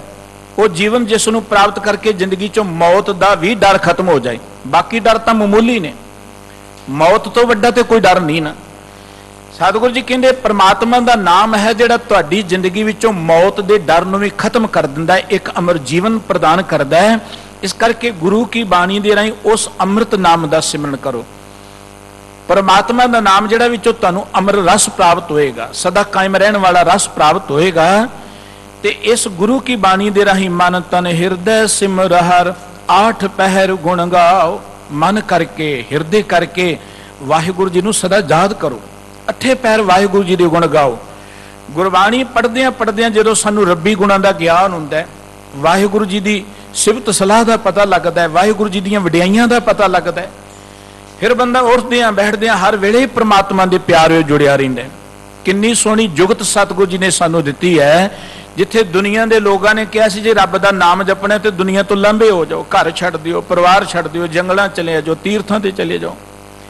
ਪਰ ਗੁਰਬਾਣੀ ਨੇ ਕਿੰਨਾ ਸੋਹਣਾ ਮਾਰਗ ਦਿੱਤਾ ਹੈ ਕਿ ਇਹ ਦੁਨੀਆ ਦੇ ਪਦਾਰਥ ਵੀ ਮਨੁੱਖ ਦੀ ਜ਼ਿੰਦਗੀ 'ਚ ਵਾਹਿਗੁਰੂ ਜੀ ਦੇ ਪਿਆਰ 'ਚ ਜੁੜਨ ਲਈ ਮਦਦਗਾਰ ਬਣ ਸਕਦੇ ਨੇ। ਜਦੋਂ ਆਪਾਂ ਘਰ ਨੂੰ ਦੇਖਦੇ ਆਂ ਇੱਕ ਯਾਦ ਆ ਜੇ ਕਿ ਜੇ ਪ੍ਰਸਾਦ ਬਸੇ ਸੁਖ ਮੰਦਰ, ਤਿਸੇ ਧਿਆਏ ਸਦਾ ਮਨ ਅੰਦਰ ਹੋ ਗਿਆ, ਨਾ ਘਰ ਵੀ ਭਗਤੀ ਦਾ ਸਾਧਨ। ਜਦੋਂ ਆਪਾਂ ਆਪਣੇ ਪਰਿਵਾਰ ਨੂੰ ਦੇਖਦੇ ਆਂ ਉਹਨਾਂ ਵੱਲ ਦੇਖ ਕੇ ਯਾਦ ਆ ਜੇ ਕਿ ਵਾਹਿਗੁਰੂ ਜੀ ਦੀ ਦਿੱਤੀ ਹੋਈ ਦਾਤ ਹੈ। ਗਾਵੇ ਕੋ ਦਾਤ ਜਾਣੇ ਨਿਸ਼ਾਨ। ਰੱਬ ਦੀਆਂ ਦਿੱਤੀਆਂ ਦਾਤਾਂ ਨੂੰ ਉਹਦੀ ਨਿਸ਼ਾਨੀ ਜਾਣ ਕੇ ਰੱਬ ਦੇ ਗੁਣ ਗਾਉਣੇ। ਕਿ ਇਹ ਦਾਤਾਂ ਵਾਹਿਗੁਰੂ ਜੀ ਦੀਆਂ ਦਿੱਤੀਆਂ ਹੋਈਆਂ ਨੇ। ਇਹ ਹੈ ਇੱਥੇ ਪੈਰ ਵਾਹਿਗੁਰੂ ਜੀ ਨੂੰ ਯਾਦ ਕਰਨਾ। ਕਾਰੋਬਾਰ ਨੂੰ ਦੇਖਦਿਆਂ ਪ੍ਰਮਾਤਮਾ ਯਾਦ ਆ ਜਾਏ ਕਿ ਵਾਹਿਗੁਰੂ ਜੀ ਦੀ ਦਾਤ ਹੈ। ਜਦੋਂ ਘਰ ਨੂੰ ਦੇਖ ਕੇ, ਕਾਰੋਬਾਰ ਨੂੰ ਦੇਖ ਕੇ ਹੰਕਾਰ ਆਏਗਾ, ਸਮਝੋ ਆਪਾਂ ਪ੍ਰਮਾਤਮਾ ਨਾਲੋਂ ਟੁੱਟ ਗਏ। ਗੁਰਬਾਣੀ ਕਹਿੰਦੀ ਹੈ, ਸਾਡਾ ਤੇ ਕੁਝ ਨਹੀਂ ਤੇ ਸਭ ਕੁਝ ਪ੍ਰਮਾਤਮਾ ਦਾ ਹੈ। ਜਦੋਂ ਪਰਮਾਤਮਾ ਦਾ ਸਮਝਣਾ ਸ਼ੁਰੂ ਕਰ ਦੇਵਾਂਗੇ, ਇਹ ਅੱਠੇ ਪੈਰ ਵਾਹਿਗੁਰੂ ਜੀ ਦੇ ਗੁਣ ਗਾਉਣੇ ਅੱਠੇ ਪੈਰ ਵਾਹਿਗੁਰੂ ਜੀ ਦੀ ਕੀਰਤੀ ਕਰਨੀ, ਇਸ ਕਰਕੇ ਸਤਿਗੁਰੂ ਜੀ ਕਹਿੰਦੇ, ਮਨ ਤਨ ਕਰਕੇ ਅੱਠੇ ਪੈਰ ਵਾਹਿਗੁਰੂ ਜੀ ਦੇ ਗੁਣ ਗਾਓ। ਗੁਰੂ ਕੀ ਬਾਣੀ ਰਾਹੀਂ ਪ੍ਰਮਾਤਮਾ ਦੀ ਸਿਫਤ ਸਲਾਹ ਕਰੋ। ਉਪਦੇਸ਼ ਸੁਣੋ, ਤੁਮ ਗੁਰ ਸਿੱਖੋ। ਸੱਚਾ ਇਹ ਸੁਆਓ। ਤੁਹਾਨੂੰ ਗੁਰੂ ਅਰਜਨ ਦੇਵ ਜੀ ਮਾਰੇ ਕਹਿੰਦੇ ਗੁਰਸਿੱਖੋ, ਇਹ ਉਪਦੇਸ਼ ਧਾਰਨ ਕਰ ਲਓ ਕਿ ਜ਼ਿੰਦਗੀ ਦਾ ਇਹੀ ਸਵਾਰਥ ਹੈ ਕਿਹੜਾ ਪ੍ਰਮਾਤਮਾ ਦੇ ਗੁਣ ਗਾਉਣੇ, ਪ੍ਰਮਾਤਮਾ ਦੀ ਕੀਰਤੀ ਕਰਨੀ। ਜੇ ਪ੍ਰਮਾਤਮਾ ਦੇ ਗੁਣ ਨਾ ਗਾਏ, ਜ਼ਿੰਦਗੀ ਬਿਰਥਾ ਚਲੀ ਜਾਏਗੀ। ਧੰਨ ਗੁਰੂ ਤੇਗ ਬਹਾਦਰ ਸਾਹਿਬ ਜੀ ਨੇ ਬਚਨ ਕਿਹਾ, ਗੁਣ ਗੋਬਿੰਦ ਗਾਇਓ ਨਹੀਂ ਜਨਮ ਅਕਾਰਥ ਕੀਨ। ਜਿਨੇ ਗੋਬਿੰਦ ਦੇ ਗੁਣ ਨਹੀਂ ਨਾ ਗਾਏ, ਉਹਨੇ ਜ਼ਿੰਦਗੀ ਬਿਰਥਾ ਗਵਾ ਲਈ। ਕੋਈ ਬੰਦਾ ਸਾਡੀ ਮਦਦ ਕਰੇ, ਕੋਈ ਬੰਦਾ ਸਾਡੇ ਨਾਲ ਕਿਸੇ ਕੰਮ ਆ ਜਾਏ, ਆਪਾਂ ਕਿੰਨਾ ਉਹਨੂੰ ਯਾਦ ਕਰਦੇ, ਉਹਨੂੰ ਐਪਰੀਸ਼ੀਏਟ ਕਰਦੇ ਆ ਉਹਦੇ ਕਿੰਨੇ ਗੁਣ ਗਾਉਂਦੇ ਆ ਜਿਸ ਪਰਮਾਤਮਾ ਨੇ ਜ਼ਿੰਦਗੀ ਦਿੱਤੀ ਹੈ, ਸਭ ਕੁਝ ਦਿੱਤਾ ਹੈ, ਉਸ ਪਰਮਾਤਮਾ ਦੇ ਗੁਣ ਗਾਉਣੇ ਤੇ ਸਾਡਾ ਜ਼ਿਆਦਾ ਫਰਜ਼ ਹੈ। ਜੇ ਨਹੀਂ ਗਾਵਾਂਗੇ, ਆਪਾਂ ਅਕਿਰਤ ਕਣ ਗਣੇ ਜਾਵਾਂਗੇ। ਜਿਹੜਾ ਬੰਦਾ ਕਿਸੇ ਦੇ ਅਹਿਸਾਨ ਨੂੰ ਭੁਲਾ ਦੇਵੇ, ਉਹਨੂੰ ਅਖਿਰਤ ਕਣ ਕਿਹਾ ਜਾਂਦਾ ਹੈ। ਸਤਿਗੁਰੂ ਜੀ ਕਹਿੰਦੇ, ਧਰਤੀ ਨੂੰ ਪਬਲਿਕ ਦਾ ਕੋਈ ਭਾਰ ਨਹੀਂ, ਪਹਾੜਾਂ ਦਾ ਕੋਈ ਭਾਰ ਨਹੀਂ, ਇਹਨਾਂ ਬਿਲਡਿੰਗਾਂ ਦਾ ਕੋਈ ਭਾਰ ਨਹੀਂ ਹੈ। ਧਰਤੀ ਨੂੰ ਭਾਰ ਉਹਨਾਂ ਲੋਕਾਂ ਦਾ ਜਿਹੜੇ ਅਕਿਰਤ ਕਣ ਬਣ ਗਏ ਨੇ, ਜਿਨ੍ਹਾਂ ਨੇ ਰੱਬ ਨੂੰ ਭੁਲਾ ਦਿੱਤਾ ਭਾਰੇ, ਭੋਈ, ਅਕਿਰਤ ਕਣ ਮੰਦੀ ਹੂੰ, ਮੰਦੇ, ਜਿਨੇ ਵਿਸਾਰਿਆ ਨਾਮ ਤੇ ਭੋਏ, ਭਾਰ ਥੀਏ, ਜਿਨ੍ਹਾਂ ਨੇ ਪ੍ਰਮਾਤਮਾ ਨੂੰ ਭੁਲਾਤਾ, ਉਹ ਭਾਰ ਬਣ ਗਏ ਧਰਤੀ ਤੇ, ਉਹ ਬੋਝ ਬਣ ਗਏ ਧਰਤੀ ਤੇ। ਇਸ ਕਰਕੇ ਸਤਿਗੁਰੂ ਜੀ ਕਹਿੰਦੇ, ਜ਼ਿੰਦਗੀ ਦਾ ਸੱਚਾ ਸਵਾਰਥ ਇਹ ਹੈ ਮਨੋਰਥ ਇਹ ਹੈ ਕਿ ਆਪਾਂ ਅੱਠੇ ਪੈਰ ਪ੍ਰਮਾਤਮਾ ਦੇ ਗੁਣ ਗਾਈਏ। ਸਾਹਿਬ ਜੀ ਕਹਿੰਦੇ, ਗੁਰਸਿੱਖੋ, ਇਹ ਉਪਦੇਸ਼ ਆਪਣੀ ਜ਼ਿੰਦਗੀ ਅੰਦਰ ਧਾਰਨ ਕਰ ਲਓ। ਜਨਮ ਪਦਾਰਥ ਸਫਲ ਹੋਏ, ਮਨ ਮੈਂ ਲਾਏ ਭਾਉ ਜੇ ਤੁਸੀਂ ਪ੍ਰਮਾਤਮਾ ਦੇ ਗੁਣ ਗਾਓਗੇ, ਆ ਜ਼ਿੰਦਗੀ ਜਿਹੜੀ ਇੱਕ ਪਦਾਰਥ ਪਦਾਰਥ ਅਰਥ ਹੈ ਕਿ ਕੀਮਤੀ ਵਸਤੂ। ਜਦੋਂ ਤੁਸੀਂ ਗੁਰਬਾਣੀ ਪੜੋਗੇ ਸਤਿਗੁਰੂ ਜੀ ਨੇ ਨਾਮ ਨੂੰ ਪਦਾਰਥ ਕਿਹਾ ਸਤਿਗੁਰੂ ਜੀ ਨੇ ਕੀਰਤਨ ਨੂੰ ਪਦਾਰਥ ਕਿਹਾ ਸਤਿਗੁਰੂ ਜੀ ਨੇ ਗਿਆਨ ਨੂੰ ਪਦਾਰਥ ਕਿਹਾ ਸਤਿਗੁਰੂ ਜੀ ਨੇ ਸ਼ਬਦ ਨੂੰ ਪਦਾਰਥ ਕਿਹਾ ਤੇ ਇੱਥੇ ਸਤਿਗੁਰੂ ਜੀ ਜਨਮ ਨੂੰ ਵੀ ਪਦਾਰਥ ਕਹਿ ਰਹੇ ਨੇ, ਜ਼ਿੰਦਗੀ ਵੀ ਇੱਕ ਪਦਾਰਥ ਹੈ, ਦੁਰਲਭ ਹੈ। ਇਹ ਵਾਰ-ਵਾਰ ਨਹੀਂ ਮਿਲਣੀ। ਗੁਰਬਾਣੀ ਨੇ ਵਾਰ-ਵਾਰ ਕਿਹਾ ਕਿ ਮਾਨਸ ਜਨਮ ਦੁਰਲਭ ਹੈ, ਹੋਏ ਨਾ ਬਾਰੰਬਾਰ। ਇਹ ਵਾਰ-ਵਾਰ ਨਹੀਂ ਮਿਲਣਾ, ਇੱਕ ਮਹਾਨ ਕੀਮਤੀ ਰਤਨ ਹੈ, ਪਦਾਰਥ ਹੈ ਜ਼ਿੰਦਗੀ। ਇਸ ਕਰਕੇ ਸਤਿਗੁਰੂ ਜੀ ਕਹਿੰਦੇ, ਜੇ ਪ੍ਰਮਾਤਮਾ ਦੇ ਗੁਣ ਗਾਓਗੇ, ਜ਼ਿੰਦਗੀ ਸਫਲ ਹੋ ਜਾਏਗੀ। ਜ਼ਿੰਦਗੀ ਸਫਲ ਦਾ ਅਰਥ ਹੈ ਕਿ ਤੁਸੀਂ ਰੱਬ ਦੇ ਵਿੱਚ ਲਿਵਲੀਨ ਹੋ ਜਾਓਗੇ। ਆਪਾਂ ਕੋਈ ਬੂਟਾ ਬੀਜਦੇ ਉਹਨੂੰ ਫਲ ਨਾ ਨਾ ਲੱਗੇ, ਭਾਵੇਂ ਉਹ ਦੇਖਣ ਨੂੰ ਹਰਿਆ ਭਰਿਆ ਹੋਵੇ, ਸਾਹਮਣੇ ਨਜ਼ਰ ਆਉਂਦਾ ਹੋਏ ਆਪਾਂ ਕਹਿੰਦੇ ਮਰ ਗਿਆ, ਇਹਨੂੰ ਫਲ ਨਹੀਂ ਲੱਗਿਆ ਇਹ ਬਿਰਥਾ ਚਲਿਆ ਗਿਆ। ਸਤਿਗੁਰੂ ਜੀ ਕਹਿੰਦੇ ਜੇ ਪ੍ਰਮਾਤਮਾ ਦੇ ਗੁਣ ਗਾਓਗੇ, ਤੁਸੀਂ ਰੱਬੀ ਗੁਣਾਂ ਦੇ ਧਾਰਣੀ ਬਣ ਜਾਓਗੇ, ਤੁਹਾਡਾ ਜੀਵਨ ਸਫਲ ਹੋ ਜਾਏਗਾ। ਮਨ ਮੈਂ ਲਾਹੇ ਭਾਉ ਲਾਇਓ ਭਾਉ ਇਸ ਕਰਕੇ ਮਨ ਵਿੱਚ ਤੁਹਾਡੇ ਪ੍ਰਮਾਤਮਾ ਦਾ ਪਿਆਰ ਪੈਦਾ ਹੋਏਗਾ। ਜਿਉਂ-ਜਿਉਂ ਪ੍ਰਮਾਤਮਾ ਦੇ ਗੁਣ ਗਾਓਗੇ, ਤਿਉਂ-ਤਿਉਂ ਅੰਦਰ ਪਿਆਰ ਪੈਦਾ ਹੋਏਗਾ, ਤਿਉਂ-ਤਿਉਂ ਅੰਦਰ ਖਿੱਚ ਪੈਦਾ ਹੋਏਗੀ। ਸੁਖ, ਸਹਿਜ, ਆਨੰਦ ਕਹਣਾ ਪ੍ਰਭ ਜਪਦਿਆਂ ਦੁੱਖ ਜਾਏ। ਧੰਨ ਗੁਰੂ ਅਰਜਨ ਦੇਵ ਜੀ ਮਾਰੇ ਕਹਿੰਦੇ, ਗੁਰਸਿੱਖੋ, ਪ੍ਰਮਾਤਮਾ ਦੇ ਗੁਣ ਗਾਓਗੇ, ਅੰਦਰ ਸੁਖ ਪੈਦਾ ਹੋਏਗਾ। ਪਰਮਾਤਮਾ ਦੇ ਗੁਣ ਗਾਓਗੇ, ਅੰਦਰ ਸਹਿਜ ਆਵੇਗਾ, ਅਡੋਲਤਾ ਆਏਗੀ ਟਿਕਾਓ ਆਏਗਾ, ਗਿਆਨ ਆਏਗਾ। ਪਰਮਾਤਮਾ ਦੇ ਗੁਣ ਗਾਓਗੇ, ਅੰਦਰ ਘਣਾ ਆਨੰਦ ਪੈਦਾ ਹੋਏਗਾ। ਘਣਾ ਦਾ ਅਰਥ ਕਿ ਜਿਹਦੀ ਗਿਣਤੀ ਕੋਈ ਨਹੀਂ। ਗੁਰਬਾਣੀ ਕਹਿੰਦੀ, ਚੇਤ ਗੋਬਿੰਦ ਅਰਾਧੀਏ ਹੋਵੇ ਆਨੰਦ। ਘਣਾ। ਜੇ ਪ੍ਰਮਾਤਮਾ ਦੇ ਗੁਣ ਗਾਓਗੇ, ਘਣਾ ਆਨੰਦ ਪੈਦਾ ਹੋਏਗਾ, ਬੇਅੰਤ ਆਨੰਦ। ਆਪਾਂ ਦੁਨੀਆ ਦੇ ਜਿੰਨੇ ਕੰਮ ਕਰਦੇ ਆ, ਇਸ ਖਿਆਲ ਦੇ ਨਾਲ ਕਿ ਕੋਈ ਸੁੱਖ ਮਿਲੇਗਾ। ਪੈਸੇ ਹੋਣਗੇ, ਸੁੱਖ ਮਿਲੇਗਾ, ਘਰ ਹੋਏਗਾ, ਸੁੱਖ ਮਿਲੇਗਾ। ਦੁਨੀਆ ਦੇ ਹੋਰ ਪਦਾਰਥ ਹੋਣਗੇ, ਸੁੱਖ ਮਿਲੇਗਾ। ਪਰ ਇਹਨਾਂ ਚੀਜ਼ਾਂ ਚੋਂ ਮਿਲੇ ਹੋਏ ਸੁੱਖ ਜਿਹੜੇ ਉਹ ਸੀਮਤ ਨੇ, ਅਲਪ ਨੇ। ਔਰ ਨਾਸਵੰਤ ਨੇ ਉਹ ਸੁੱਖ। ਜੋ ਪ੍ਰਮਾਤਮਾ ਦੇ ਪਿਆਰ ਚੋਂ ਸੁੱਖ ਮਿਲਦਾ ਹੈ ਨਾ, ਉਹ ਘਣਾ ਸੁੱਖ ਹੈ, ਉਹਨੂੰ ਕੋਈ ਬਿਆਨ ਹੀ ਨਹੀਂ ਕਰ ਸਕਦਾ। ਜੇ ਪ੍ਰਮਾਤਮਾ ਬੇਅੰਤ ਹੈ, ਉਸ ਪ੍ਰਮਾਤਮਾ ਦੇ ਗੁਣ ਗਾਉਣ ਦੇ ਨਾਲ ਬੇਅੰਤ ਸੁੱਖ ਮਿਲਦਾ ਹੈ, ਘਣਾ ਸੁੱਖ ਮਿਲਦਾ ਹੈ। ਇਸ ਕਰਕੇ ਸਤਿਗੁਰੂ ਜੀ ਕਹਿੰਦੇ ਨੇ, ਜੇ ਪ੍ਰਮਾਤਮਾ ਦੇ ਗੁਣ ਗਾਓਗੇ, ਤੁਹਾਡੇ ਅੰਦਰ ਸਹਿਜ ਆਏਗਾ, ਸੁੱਖ ਆਏਗਾ, ਆਨੰਦ ਆਏਗਾ। ਪ੍ਰਭ ਜਪਤਿਆਂ ਦੁੱਖ ਜਾਏ। ਜਿਉਂ-ਜਿਉਂ ਪ੍ਰਮਾਤਮਾ ਨੂੰ ਯਾਦ ਕਰੋਗੇ, ਦੁੱਖ ਆਪਣੇ ਆਪ ਮਿਟਣੇ ਸ਼ੁਰੂ ਹੋ ਜਾਣਗੇ। ਜਿਵੇਂ ਸੂਰਜ ਦੇ ਸਾਹਮਣੇ ਆਉਂਦੇ ਜਾਓ, ਹਨੇਰਾ ਭੱਜ ਜਾਏਗਾ, ਪਹਾੜ ਦੇ ਨੇੜੇ ਤੁਰੇ ਜਾਓ, ਗਰਮੀ ਭਰਦੀ ਜਾਏਗੀ, ਤਿਵੇਂ ਜਿਉਂ-ਜਿਉਂ ਪ੍ਰਮਾਤਮਾ ਵੱਲ ਤੁਰੇ ਜਾਓਗੇ, ਪ੍ਰਮਾਤਮਾ ਦੇ ਗੁਣ ਗਾਓਗੇ। ਪ੍ਰਮਾਤਮਾ ਦੇ ਗੁਣ ਗਾਉਣ ਦਾ ਅਰਥ ਹੈ ਕਿ ਵਾਹਿਗੁਰੂ ਜੀ ਦੇ ਗੁਣਾਂ ਨੂੰ ਯਾਦ ਕਰਦਿਆਂ ਕਰਦਿਆਂ ਉਹ ਗੁਣ ਆਪਣੀ ਜ਼ਿੰਦਗੀ ਅੰਦਰ ਧਾਰਨ ਕਰ ਲੈਣੇ। ਉਹਨਾਂ ਗੁਣਾਂ ਦੇ ਧਾਰਣੀ ਬਣ ਜਾਣਾ। ਤੁਸੀਂ ਜਿਉਂ-ਜਿਉਂ ਰੱਬੀ ਗੁਣਾਂ ਦੇ ਧਾਰਣੀ ਬਣਦੇ ਜਾਓਗੇ, ਉਦਾਹਰਨ ਦੇ ਤੌਰ ਤੇ ਪ੍ਰਮਾਤਮਾ ਪਰਉਪਕਾਰੀ ਹੈ। ਤੁਸੀਂ ਪਰਉਪਕਾਰ ਕਰਨਾ ਸ਼ੁਰੂ ਕਰ ਦਿਓ। ਤੁਹਾਡੇ ਅੰਦਰ ਸੁੱਖ ਪੈਦਾ ਹੋਣਾ ਸ਼ੁਰੂ ਹੋ ਜਾਏਗਾ। ਤੁਹਾਡੇ ਅੰਦਰ ਇੱਕ ਸੈਲਫ ਰਿਸਪੈਕਟ ਆਤਮ ਸਨਮਾਨ ਪੈਦਾ ਹੋਣਾ ਸ਼ੁਰੂ ਹੋ ਜਾਏਗਾ।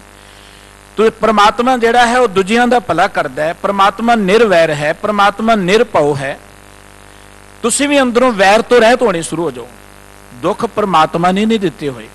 ਦੁੱਖ ਤੇ ਮਨੁੱਖ ਦੇ ਔਗਣਾਂ ਚੋਂ ਪੈਦਾ ਹੋਏ ਨੇ। ਅੰਦਰ ਈਰਖਾ ਹੋਏਗੀ, ਬੰਦਾ ਕਦੀ ਸੁਖੀ ਨਹੀਂ ਹੋ ਸਕੇਗਾ। ਅੰਦਰ ਕ੍ਰੋਧ ਹੋਏਗਾ, ਬੰਦਾ ਕਦੀ ਸੁਖੀ ਨਹੀਂ ਹੋ ਸਕੇਗਾ। ਅੰਦਰ ਲਾਲਚ ਹੋਏਗਾ, ਬੰਦਾ ਕਦੀ ਸੁਖੀ ਨਹੀਂ ਹੋ ਸਕੇਗਾ। ਜੇ ਆਪਾਂ ਕੀ ਕਿ ਸੁੱਖ ਪੈਸੇ ਚੋਂ ਮਿਲਣਾ, ਦੌਲਤ ਚੋਂ ਮਿਲਣਾ, ਫਿਰ ਤੇ ਦੌਲਤਮੰਦ ਸੁਖੀ ਹੋਣੇ ਚਾਹੀਦੇ ਨੇ। ਪਰ ਉਹ ਤੇ ਜ਼ਿਆਦਾ ਪਰੇਸ਼ਾਨ ਨਜ਼ਰ ਆਉਂਦੇ ਨੇ, ਕਿਉਂਕਿ ਅੰਦਰ ਲਾਲਚ ਹੈ ਤੇ ਬੰਦਾ ਜ਼ਿਆਦਾ ਪਰੇਸ਼ਾਨ ਹੈ। ਅੰਦਰ ਈਰਖਾ ਹੈ, ਮਨੁੱਖ ਜ਼ਿਆਦਾ ਪਰੇਸ਼ਾਨ ਹੈ। ਇਹ ਅੱਗ ਦੀ ਨਹੀਂ ਆਈ ਔਗਣ ਸਾਨੂੰ ਅੰਦਰੋਂ ਸੜਦੇ ਨੇ। ਇਸ ਕਰਕੇ ਸਤਿਗੁਰੂ ਜੀ ਕਹਿੰਦੇ ਨੇ ਕਿ ਪ੍ਰਮਾਤਮਾ ਦੇ ਗੁਣ ਗਾਉਂਦਿਆਂ ਗਾਉਂਦਿਆਂ ਇਹਨਾਂ ਗੁਣਾਂ ਦੇ ਧਾਰਣੀ ਬਣਦੇ ਜਾਓ। ਤੁਹਾਨੂੰ ਸੁੱਖ ਮਿਲਣਾ ਸ਼ੁਰੂ ਹੋ ਜਾਏਗਾ, ਦੁੱਖ ਆਪਣੇ ਆਪ ਭੱਜਣੇ ਸ਼ੁਰੂ ਹੋ ਜਾਣਗੇ। ਦੁੱਖਾਂ ਤੋਂ ਬਚਣ ਦਾ ਇੱਕੋ ਇੱਕ ਸਾਧਨ ਹੈ ਪ੍ਰਮਾਤਮਾ ਦੇ ਗੁਣ ਗਾਓ। ਪ੍ਰਮਾਤਮਾ ਦੇ ਗੁਣਾਂ ਨੂੰ ਜੀਵਨ ਚ ਧਾਰਨ ਕਰ ਲਓ। ਨਾਨਕ ਨਾਮ ਜਪਤ ਸੁਖ ਉਪਜੈ ਦਰ ਪਾਈਐ ਠਾਉ। ਗੁਰੂ ਅਰਜਨ ਦੇਵ ਜੀ ਕਹਿੰਦੇ, ਜੇ ਵਾਹਿਗੁਰੂ ਜੀ ਦੇ ਨਾਮ ਨੂੰ ਜਪੋਗੇ, ਪਰਮਾਤਮਾ ਦੇ ਨਾਮ ਨੂੰ ਚੇਤੇ ਕਰੋਗੇ, ਤੁਹਾਡੇ ਅੰਦਰੋਂ ਸੁਖ ਉਪਜੇਗਾ। ਉਪਜਣ ਦਾ ਅਰਥ ਹੈ ਕਿ ਸੁਖ ਬਾਹਰੋਂ ਨਹੀਂ ਮਿਲਣਾ, ਸੁਖ ਕਿਸੇ ਦੇ ਦਿੱਤਿਆਂ ਨਹੀਂ ਮਿਲਣਾ, ਸੁਖ ਕਿਸੇ ਵਸਤੂ ਵਿੱਚੋਂ ਨਹੀਂ ਮਿਲਣਾ। ਜਿਹੜਾ ਸੁੱਖ ਕਿਸੇ ਦੇ ਦਿੱਤਿਆਂ ਮਿਲ ਜਾਏ, ਉਹ ਲੋਕੀ ਖੋ ਵੀ ਸਕਦੇ ਨੇ। ਜਿਹੜਾ ਸੁੱਖ ਕਿਸੇ ਪਦਾਰਥ ਚੋਂ ਮਿਲੇ, ਉਹ ਜਾ ਵੀ ਸਕਦਾ ਹੈ। ਲੇਕਿਨ ਸੁਖ ਅੰਦਰੋਂ ਪੈਦਾ ਹੋਣਾ ਅਸਲੀ ਸੁਖ ਉਹ ਜਿਹੜਾ ਮਨੁੱਖ ਦੇ ਅੰਦਰੋਂ ਪੈਦਾ ਹੋਏ।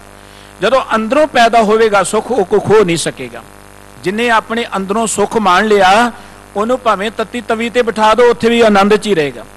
ਉਹ ਕਿਤੇ ਰਹੇ, ਆਨੰਦ ਵਿੱਚ ਰਹੇਗਾ, ਉਹਨੂੰ ਕੋਈ ਦੁਖੀ ਨਹੀਂ ਕਰ ਸਕਦਾ। ਇਸ ਕਰਕੇ ਸਤਿਗੁਰੂ ਜੀ ਕਹਿੰਦੇ, ਜਿਉਂ-ਜਿਉਂ ਤੁਸੀਂ ਪ੍ਰਮਾਤਮਾ ਦੇ ਗੁਣ ਗਾਓਗੇ ਨਾ ਤੁਹਾਡੇ ਅੰਦਰੋਂ ਸੁਖ ਪੈਦਾ ਹੋਏਗਾ। ਪਰਮਾਤਮਾ ਨੇ ਸਾਡੇ ਅੰਦਰ ਹੀ ਸੁਖ ਰੱਖਿਆ ਹੋਇਆ ਹੈ, ਸੁਖ ਬਾਹਰ ਨਹੀਂ ਹੈ।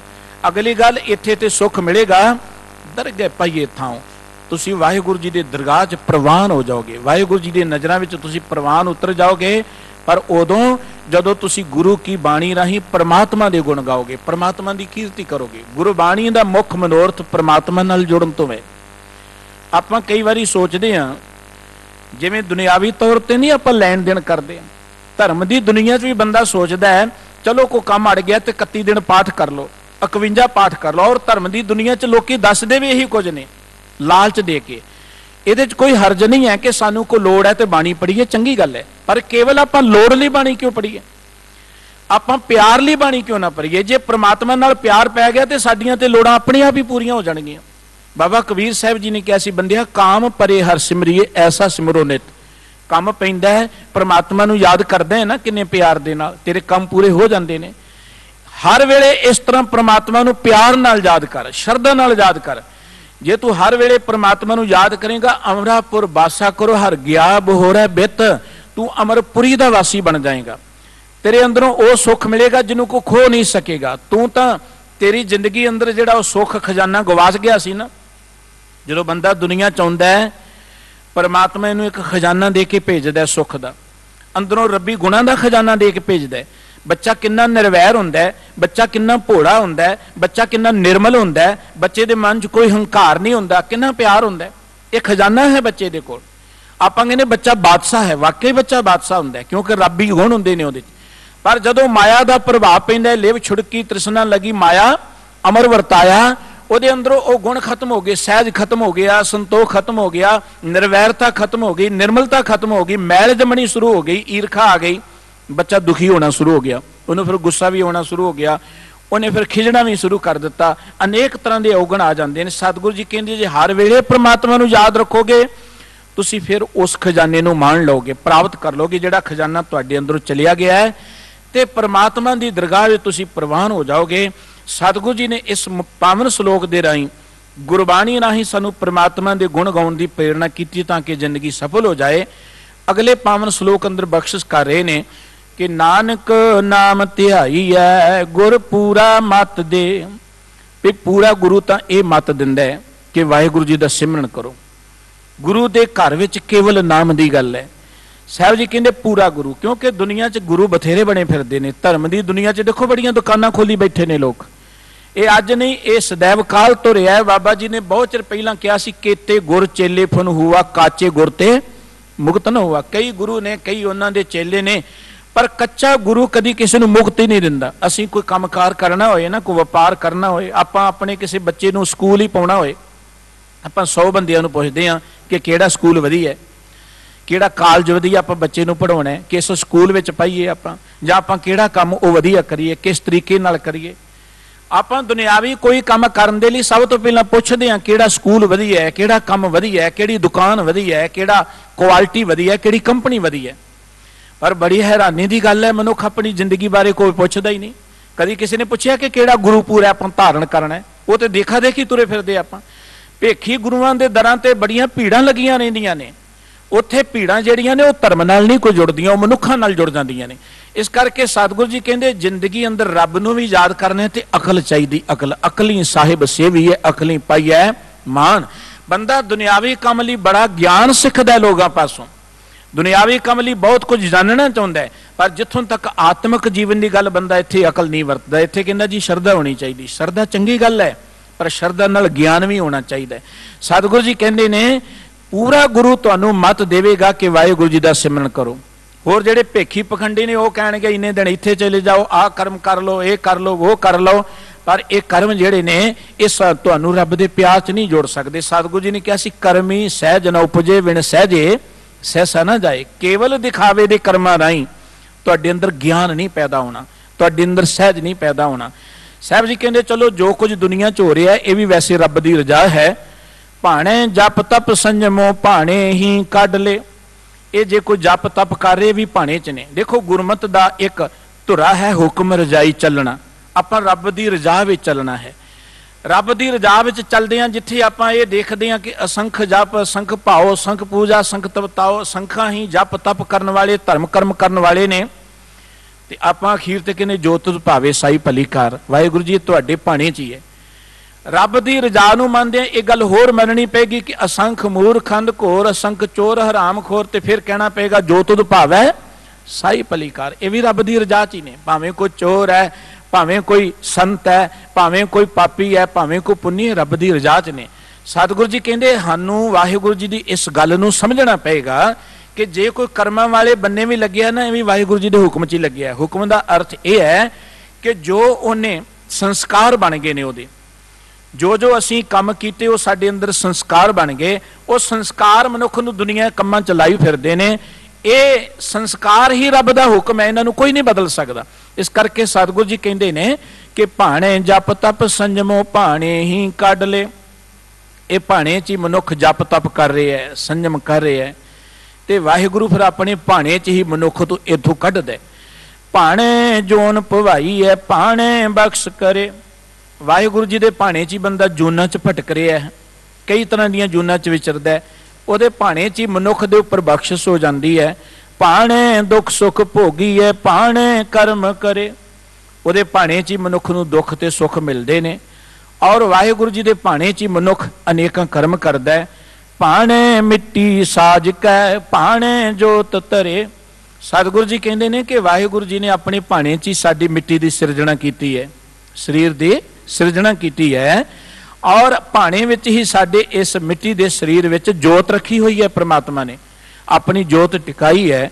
ਭਾਣੇ ਭੋਗ ਪੁਗਾਏਂਦਾ, ਭਾਣੇ ਮਨਹਿ ਕਰੇ। ਤੇ ਵਾਹਿਗੁਰੂ ਜੀ ਦੇ ਹੁਕਮ 'ਚ ਹੀ ਆਪਾਂ ਦੁਨੀਆ ਦੇ ਰਸ ਕਸ ਭੋਗ ਰਹੇ ਆ ਤੇ ਭਾਣੇ 'ਚ ਹੀ ਵਾਹਿਗੁਰੂ ਜੀ ਸਾਨੂੰ ਇਹਨਾਂ ਵਿਕਾਰਾਂ ਤੋਂ ਮਨਾ ਵੀ ਕਰ ਦਿੰਦਾ ਇਹਨਾਂ ਵਿਕਾਰਾਂ ਤੋਂ ਮੁਕਤ ਕਰ ਲੈਂਦਾ ਰਸਾਂ ਕਸਾਂ ਤੋਂ ਬਾਹਰ ਕੱਢ ਲੈਂਦਾ ਹੈ। ਭਾਣੇ ਨਰਕ ਸਰਗ ਅਵਤਾਰੈ।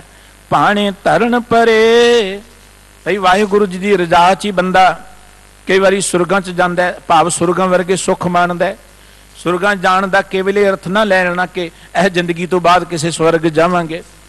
ਉਹ ਜ਼ਿੰਦਗੀ ਤੋਂ ਬਾਅਦ ਜਿਹੜਾ ਗਿਆ, ਉਹਨੇ ਤੇ ਆ ਕੇ ਦੱਸਿਆ ਨਹੀਂ ਮੈਂ ਗਿਆ ਸਵਰਗ ਸਵਰਗ ਦਾ ਅਰਥ ਹੈ ਕਿ ਭਾਣੇ 'ਚ ਹੀ ਮਨੁੱਖ ਐਸ ਜ਼ਿੰਦਗੀ ਅੰਦਰ ਸੁਰਗਾਂ ਵਰਗੀ ਅਵਸਥਾ ਭੋਗਦਾ ਹੈ। ਭਾਣੇ 'ਚ ਇੱਥੇ ਨਰਕ ਭੋਗ ਰਿਹਾ ਹੈ। ਜਦੋਂ ਆਪਾਂ ਕਹਿੰਦੇ ਕੌਤਕ ਕੋੜ ਤਮਾਸਿਆ ਚਿਤਨਾ ਆਵ ਸੁਨਾਓ ਨਾਨਕ ਕੋੜੀ ਨਰਕ ਬਰਾਬਰੇ ਉਜੜ ਸੋਈ ਥਾਂ ਜਦੋਂ ਰੱਬ ਦਾ ਨਾਮ ਭੁੱਲ ਗਿਆ ਤੇ ਘੋਰ ਨਰਕ ਹੈ ਨਾ, ਰੱਬ ਦੇ ਨਾਮ ਨਾਲ ਟੁੱਟ ਜਾਣਾ। ਹੰਕਾਰ ਚ ਆ ਜਾਣਾ, ਵਿਕਾਰਾਂ ਚ ਆ ਜਾਣਾ, ਔਗਣਾ ਚ ਆ ਜਾਣਾ, ਬੁਰਾਈਆਂ ਨਾਲ ਜੁੜ ਜਾਣਾ, ਨਸ਼ਿਆਂ ਨਾਲ ਜੁੜ ਜਾਣਾ, ਇਹਦੋਂ ਵੱਡਾ ਨਰਕ ਹੋਰ ਕੀ ਹੋ ਸਕਦਾ ਹੈ? ਦੇਖੋ ਜੀ ਇਹ ਜ਼ਿੰਦਗੀ ਤੋਂ ਬਾਅਦ ਬੰਦਾ ਨਰਕ ਭੋਗੇ, ਸੁਰਗ ਭੋਗੇ, ਉਹ ਤੇ ਗੱਲ ਹੈ ਬਾਅਦ ਦੀ। ਉਹ ਤੇ ਜਦੋਂ ਆਪਾਂ ਜਾਵਾਂਗੇ, ਪਰ ਬੰਦਾ ਤੇ ਇਹ ਜ਼ਿੰਦਗੀ 'ਚ ਬੜੇ ਨਰਕ ਭੋਗਦਾ ਹੈ। ਇਹ ਜ਼ਿੰਦਗੀ 'ਚ ਬੰਦਾ ਬੜੇ ਦੁੱਖ ਭੋਗਦਾ ਇਹ ਵੀ ਤੇ ਨਰਕਾਂ ਵਾਲੀ ਜ਼ਿੰਦਗੀ ਹੈ ਨਾ। ਜਦੋਂ ਬੰਦਾ ਆਪਣੇ ਸਰੀਰ ਨੂੰ ਨਸ਼ਿਆਂ ਨਾਲ ਗਾਲ ਲੈਂਦਾ ਇਹ ਤੋਂ ਵੱਡਾ ਨਰਕ ਕੀ ਹੋ ਸਕਦਾ ਹੈ। ਜਦੋਂ ਬੰਦਾ ਸਰੀਰ ਅੰਦਰ ਵਿਕਾਰਾਂ 'ਚ ਖਚਤ ਹੋ ਕੇ ਆਪਣੇ ਸਰੀਰ ਨੂੰ ਰੋਗੀ ਬਣਾ ਲੈਂਦਾ ਇਹ ਤੋਂ ਵੱਡਾ ਨਰਕ ਕੋਈ ਹੈ। ਇਸ ਕਰਕੇ ਸਤਿਗੁਰੂ ਜੀ ਕਹਿੰਦੇ, ਇਹ ਜਿਹੜਾ ਨਰਕ, ਸੁਰਗ ਦਾ ਦੁੱਖ, ਸੁੱਖ ਹੈ ਇਹ ਵੀ ਉਹਦੇ ਭਾਣੇ 'ਚ ਹੈ। ਭਾਵ ਕਿ ਮਨੁੱਖ ਨੇ ਜੋ ਕਰਮ ਕੀਤੇ, ਉਹ ਕਰਮ ਮਨੁੱਖ ਦੇ ਲੇਖ ਬਣ ਗਏ। ਤੇ ਇਹਨਾਂ ਲੇਖਾਂ ਨੂੰ ਕੋਈ ਬਦਲ ਨਹੀਂ ਸਕਦਾ। ਇਹ ਵਾਹਿਗੁਰੂ ਜੀ ਦਾ ਭਾਣਾ ਹੈ ਕਿ ਇਹਨਾਂ ਲੇਖਾਂ ਨੂੰ ਕੋਈ ਬਦਲ ਨਹੀਂ ਸਕਦਾ। ਹਾਂ, ਵਾਹਿਗੁਰੂ ਮਿਹਰ ਕਰ ਦੇਵੇ ਭਾਣੇ ਹੀ ਜਿਸ ਭਗਤੀ ਲਾਏ। ਨਾਨਕ ਵਿਰਲੇ ਇਹ ਨਾਨਕ ਜੀ ਕੋਈ ਵਿਰਲੇ ਬੰਦੇ ਨੇ, ਜਿਹੜੇ ਵਾਹਿਗੁਰੂ ਜੀ ਦੇ ਭਾਣੇ ਵਿੱਚ, ਵਾਹਿਗੁਰੂ ਜੀ ਦੀ ਬੰਦਗੀ ਵਿੱਚ ਲੱਗਦੇ ਨੇ। ਵਿਰਲੇ ਬੰਦੇ। ਨੇ ਤੇ ਵਿਕਾਰ ਭੋਗਣ ਵਾਲੇ ਬੇਅੰਤ ਨੇ। ਦੇਖੋ ਬੰਦਗੀ ਵਾਲਿਆਂ ਦੀ ਕਦੀ ਭੀੜ ਨਹੀਂ ਲੱਗਦੀ, ਆਖੋ ਸਤਨਾਮ ਸ੍ਰੀ ਵਾਹਿਗੁਰੂ। ਰੱਬ ਦੇ ਮਾਰਗ ਤੇ ਚੱਲਣ ਵਾਲਿਆਂ ਦੀ ਕਦੀ ਭੀੜ ਨਹੀਂ ਹੁੰਦੀ। ਜਾਂ ਗਿਆਨ ਵਾਲੇ ਮਾਰਗ ਤੇ ਚੱਲਣ ਵਾਲਿਆਂ ਦੀ ਭੀੜ ਨਹੀਂ ਹੁੰਦੀ। ਜਾਂ ਇਹਨੂੰ ਦੁਨਿਆਵੀ ਤੌਰ ਤੇ ਸਮਝਣ ਲਈ ਆਪਾਂ ਕਹਿ ਸਕਦੇ ਹਾਂ ਕਿ ਹੀਰਿਆਂ ਦੀ ਦੁਕਾਨ ਤੇ ਕਦੀ ਭੀੜ ਨਹੀਂ ਹੁੰਦੀ। ਸਾਹਿਬ ਜੀ ਨੇ ਇੱਕ ਗੱਲ ਕਹੀ ਹੈ ਕਿ ਜਿਹ ਮਾਰਗ ਪੰਡਤ ਗਏ, ਪਾਛੇ ਪਰੀ ਬਹੀਰ, ਇੱਕ ਅਵਕਟ ਘਾਟੀ ਰਾਮ ਕੀਤੇ ਚੜ ਰਹੇ ਹੋ ਕਬੀਰ। ਜਿੱਧਰ ਤੇ ਕਰਮ ਕਾਂਡੀਆਂ ਨੇ ਤੋਰਿਆ, ਉਧਰ ਭੀੜਾਂ ਹੀ ਲੱਗ ਜਾਂਦੀਆਂ ਨੇ। ਪਰ ਜਿਹੜਾ ਪਿਆਰ ਦਾ ਮਾਰਗ ਹੈ, ਪ੍ਰਭੂ ਦੀ ਬੰਦਗੀ ਦਾ ਮਾਰਗ ਹੈ, ਇਵੇਂ ਕਹਿ ਲੋ ਜਿਹੜਾ ਔਗਣਾ ਤੋਂ ਮੁਕਤ ਹੋ ਕੇ ਰੱਬੀ ਗੁਣਾਂ ਨਾਲ ਜੁੜਨ ਦਾ ਮਾਰਗ ਇਧਰ ਕੋ ਭਾਗਾਂ ਵਾਲੇ ਤੁਰਦੇ ਨੇ, ਵਿਰਲੇ ਤੁਰਦੇ ਨੇ। ਇਸ ਕਰਕੇ ਸਤਿਗੁਰੂ ਜੀ ਕਹਿੰਦੇ, ਨਾਨਕ, ਵਿਰਲੇ ਹੈ। ਉਹ ਜਿਨ੍ਹਾਂ ਤੇ ਵਾਹਿਗੁਰੂ ਜੀ ਮਿਹਰ ਕਰਦੇ, ਭਗਤੀ ਜੁੜ ਜਾਂਦੇ ਨੇ, ਉਹ ਕੋ ਵਿਰਲੇ ਨੇ। ਬਾਕੀ ਦੁਨੀਆ ਵੀ ਉਹਦੇ ਰਜਾਚ ਇਧਰ ਉਧਰ ਭਟਕ ਰਹੀ ਹੈ, ਪਰ ਵਿਰਲੇ ਭਾਗਾਂ ਵਾਲੇ ਨੇ ਜਿਹੜੇ ਰੱਬ ਦੀ ਬੰਦਗੀ 'ਚ ਜੁੜ ਜਾਂਦੇ ਨੇ। ਸਤਿਗੁਰੂ ਜੀ ਨੇ ਇਸ ਮੁਖ ਵਾਕ ਰਹੀ ਸਾਨੂੰ ਗਿਆਨ ਦਿੱਤਾ। ਕਿ ਪੂਰਾ ਗੁਰੂ ਸਾਨੂੰ ਨਾਮ ਸਿਮਰਨ ਦੀ ਪ੍ਰੇਰਣਾ ਕਰਦਾ ਹੈ। ਭਾਗਾਂ ਵਾਲੇ ਗੁਰੂ ਦੀ ਗੱਲ ਨੂੰ ਮੰਨ ਕੇ ਵਾਹਿਗੁਰੂ ਜੀ ਦੀ ਬੰਦਗੀ ਜੁੜ ਜਾਂਦੇ ਨੇ, ਜੀਵਨ ਨੂੰ ਸਫਲ ਬਣਾ ਲੈਂਦੇ ਨੇ। ਨਹੀਂ ਤੇ ਬਹੁਤਾਂਤ ਉਹਨਾਂ ਲੋਕਾਂ ਦੀ ਜਿਹੜੇ ਜਪ ਤਪ ਕਰ ਰਹੇ ਨੇ, ਇਧਰ ਉਧਰ ਭਰਮ ਭਟਕ ਰਹੇ ਨੇ, ਅਨੇਕ ਤਰ੍ਹਾਂ ਦੇ ਕਰਮ ਵੀ ਕਰ ਰਹੇ ਨੇ, ਅਨੇਕ ਤਰ੍ਹਾਂ ਦੇ ਰਸਾਂ ਕਸਾਂ ਵਿੱਚ ਪੈ ਕੇ ਆਪਣੀ ਜ਼ਿੰਦਗੀ ਨੂੰ ਅਕਾਰਤ ਗਵਾ ਰਹੇ ਨੇ। ਸਤਿਗੁਰੂ ਜੀ ਨੇ ਪਾਵਨ ਪੌੜੀ ਦੇ ਰਾਹੀਂ ਸਾਨੂੰ ਉਪਦੇਸ਼ ਦਿੱਤਾ ਹੈ ਕਿ ਵਡਿਆਈ, ਸੱਚੇ ਨਾਮ ਕੀ ਹੋ ਜੀਵਾ ਸੁਣ ਸੁਣੇ। ਇਹ ਭਾਈ ਜਿਉਂ-ਜਿਉਂ ਮੈਂ ਵਾਹਿਗੁਰੂ ਜੀ ਦੀ ਵਡਿਆਈ ਸੁਣਦਾ ਹਾਂ, ਵਾਹਿਗੁਰੂ ਜੀ ਦੇ ਗੁਣ ਸੁਣਦਾ ਹਾਂ, ਵਾਹਿਗੁਰੂ ਜੀ ਦੀ ਕੀਰਤੀ ਸੁਣਦਾ ਹਾਂ, ਸੁਣ ਸੁਣ ਕੇ ਮੈਨੂੰ ਜੀਵਨ ਮਿਲਦਾ ਹੈ, ਆਤਮਿਕ ਜੀਵਨ ਮਿਲਦਾ ਹੈ। ਇੱਕ ਜ਼ਿੰਦਗੀ ਸਾਡੀ ਹੈ ਸਰੀਰਕ। ਸਰੀਰਕ ਤੌਰ ਤੇ ਜਿਉਂਦੇ ਰਹਿਣਾ ਤੇ ਰੋਟੀ ਚਾਹੀਦੀ ਹੈ, ਕੱਪੜਾ ਚਾਹੀਦਾ ਹੈ, ਮਕਾਨ ਚਾਹੀਦਾ ਹੈ। ਸਰੀਰ ਨੂੰ ਰੋਟੀ ਨਹੀਂ ਮਿਲੇਗੀ, ਭੋਜਨ ਨਹੀਂ ਮਿਲੇਗਾ, ਸਰੀਰ ਰੋਗੀ ਹੋ ਜਾਏਗਾ, ਖਤਮ ਹੋ ਜਾਏਗਾ ਸਰੀਰ। ਸਰੀਰਕ ਤੌਰ ਤੇ ਜਿਉਂਦੇ ਰਹਿਣ ਦੇ ਲਈ ਭੋਜਨ ਚਾਹੀਦਾ ਹੈ। ਪਰ ਜੇ ਆਤਮਿਕ ਤੌਰ ਤੇ ਜਿਉਂਦੇ ਰਹਿਣਾ, ਫਿਰ ਭਜਨ ਚਾਹੀਦਾ ਜੇ ਸਰੀਰ ਨੂੰ ਖੁਰਾਕ ਨਹੀਂ ਮਿਲੇਗੀ, ਸਰੀਰ ਖਤਮ ਹੋ ਜਾਏਗਾ। ਜੇ ਆਤਮਿਕ ਜੀਵਨ ਨੂੰ ਖੁਰਾਕ ਨਹੀਂ ਮਿਲੇਗੀ, ਸਾਡਾ ਆਤਮਿਕ ਜੀਵਨ ਖਤਮ ਹੋ ਜਾਏਗਾ। ਗੁਰਬਾਣੀ ਕਹਿੰਦੀ ਬਹੁਤਾਂਤ ਉਹਨਾਂ ਲੋਕਾਂ ਦੀ ਹੈ, ਜਿਹੜੇ ਵਾਹਿਗੁਰੂ ਨਾਲੋਂ ਟੁੱਟ ਕੇ ਮਰ ਮੁੱਕ ਚੁੱਕੇ ਨੇ, ਅੰਦਰੋਂ ਮਰੇ ਹੋਏ ਨੇ। ਬਾਹਰੋਂ ਦੇਖਣ ਨੂੰ ਲੱਗਦਾ ਜਿਉਂਦੇ ਨੇ। ਲੇਕਿਨ ਜਿਹੜੇ ਅੰਦਰੋਂ ਮਰ ਗਏ ਨੇ, ਸਤਿਗੁਰੂ ਜੀ ਕਹਿੰਦੇ, ਉਹਨਾਂ ਦੀ ਜ਼ਿੰਦਗੀ ਬਿਰਥਾ ਹੈ। ਸਾਹਿਬ ਜੀ ਕਹਿੰਦੇ, ਜਦੋਂ ਮੈਂ ਵਾਹਿਗੁਰੂ ਜੀ ਦੇ ਨਾਮ ਨੂੰ ਜਪਦਾ ਹਾਂ, ਸਿਮਰਦਾ ਹਾਂ, ਯਾਦ ਕਰਦਾ ਹਾਂ, ਮੈਨੂੰ ਜੀਵਨ ਮਿਲਦਾ ਹੈ, ਅੰਦਰੋਂ ਆਨੰਦ ਮਿਲਦਾ ਹੈ। ਪਸ਼ੂ ਪ੍ਰੇਤ ਅਗਿਆਨ ਉਧਾਰੇ ਇੱਕ ਖਣੇ।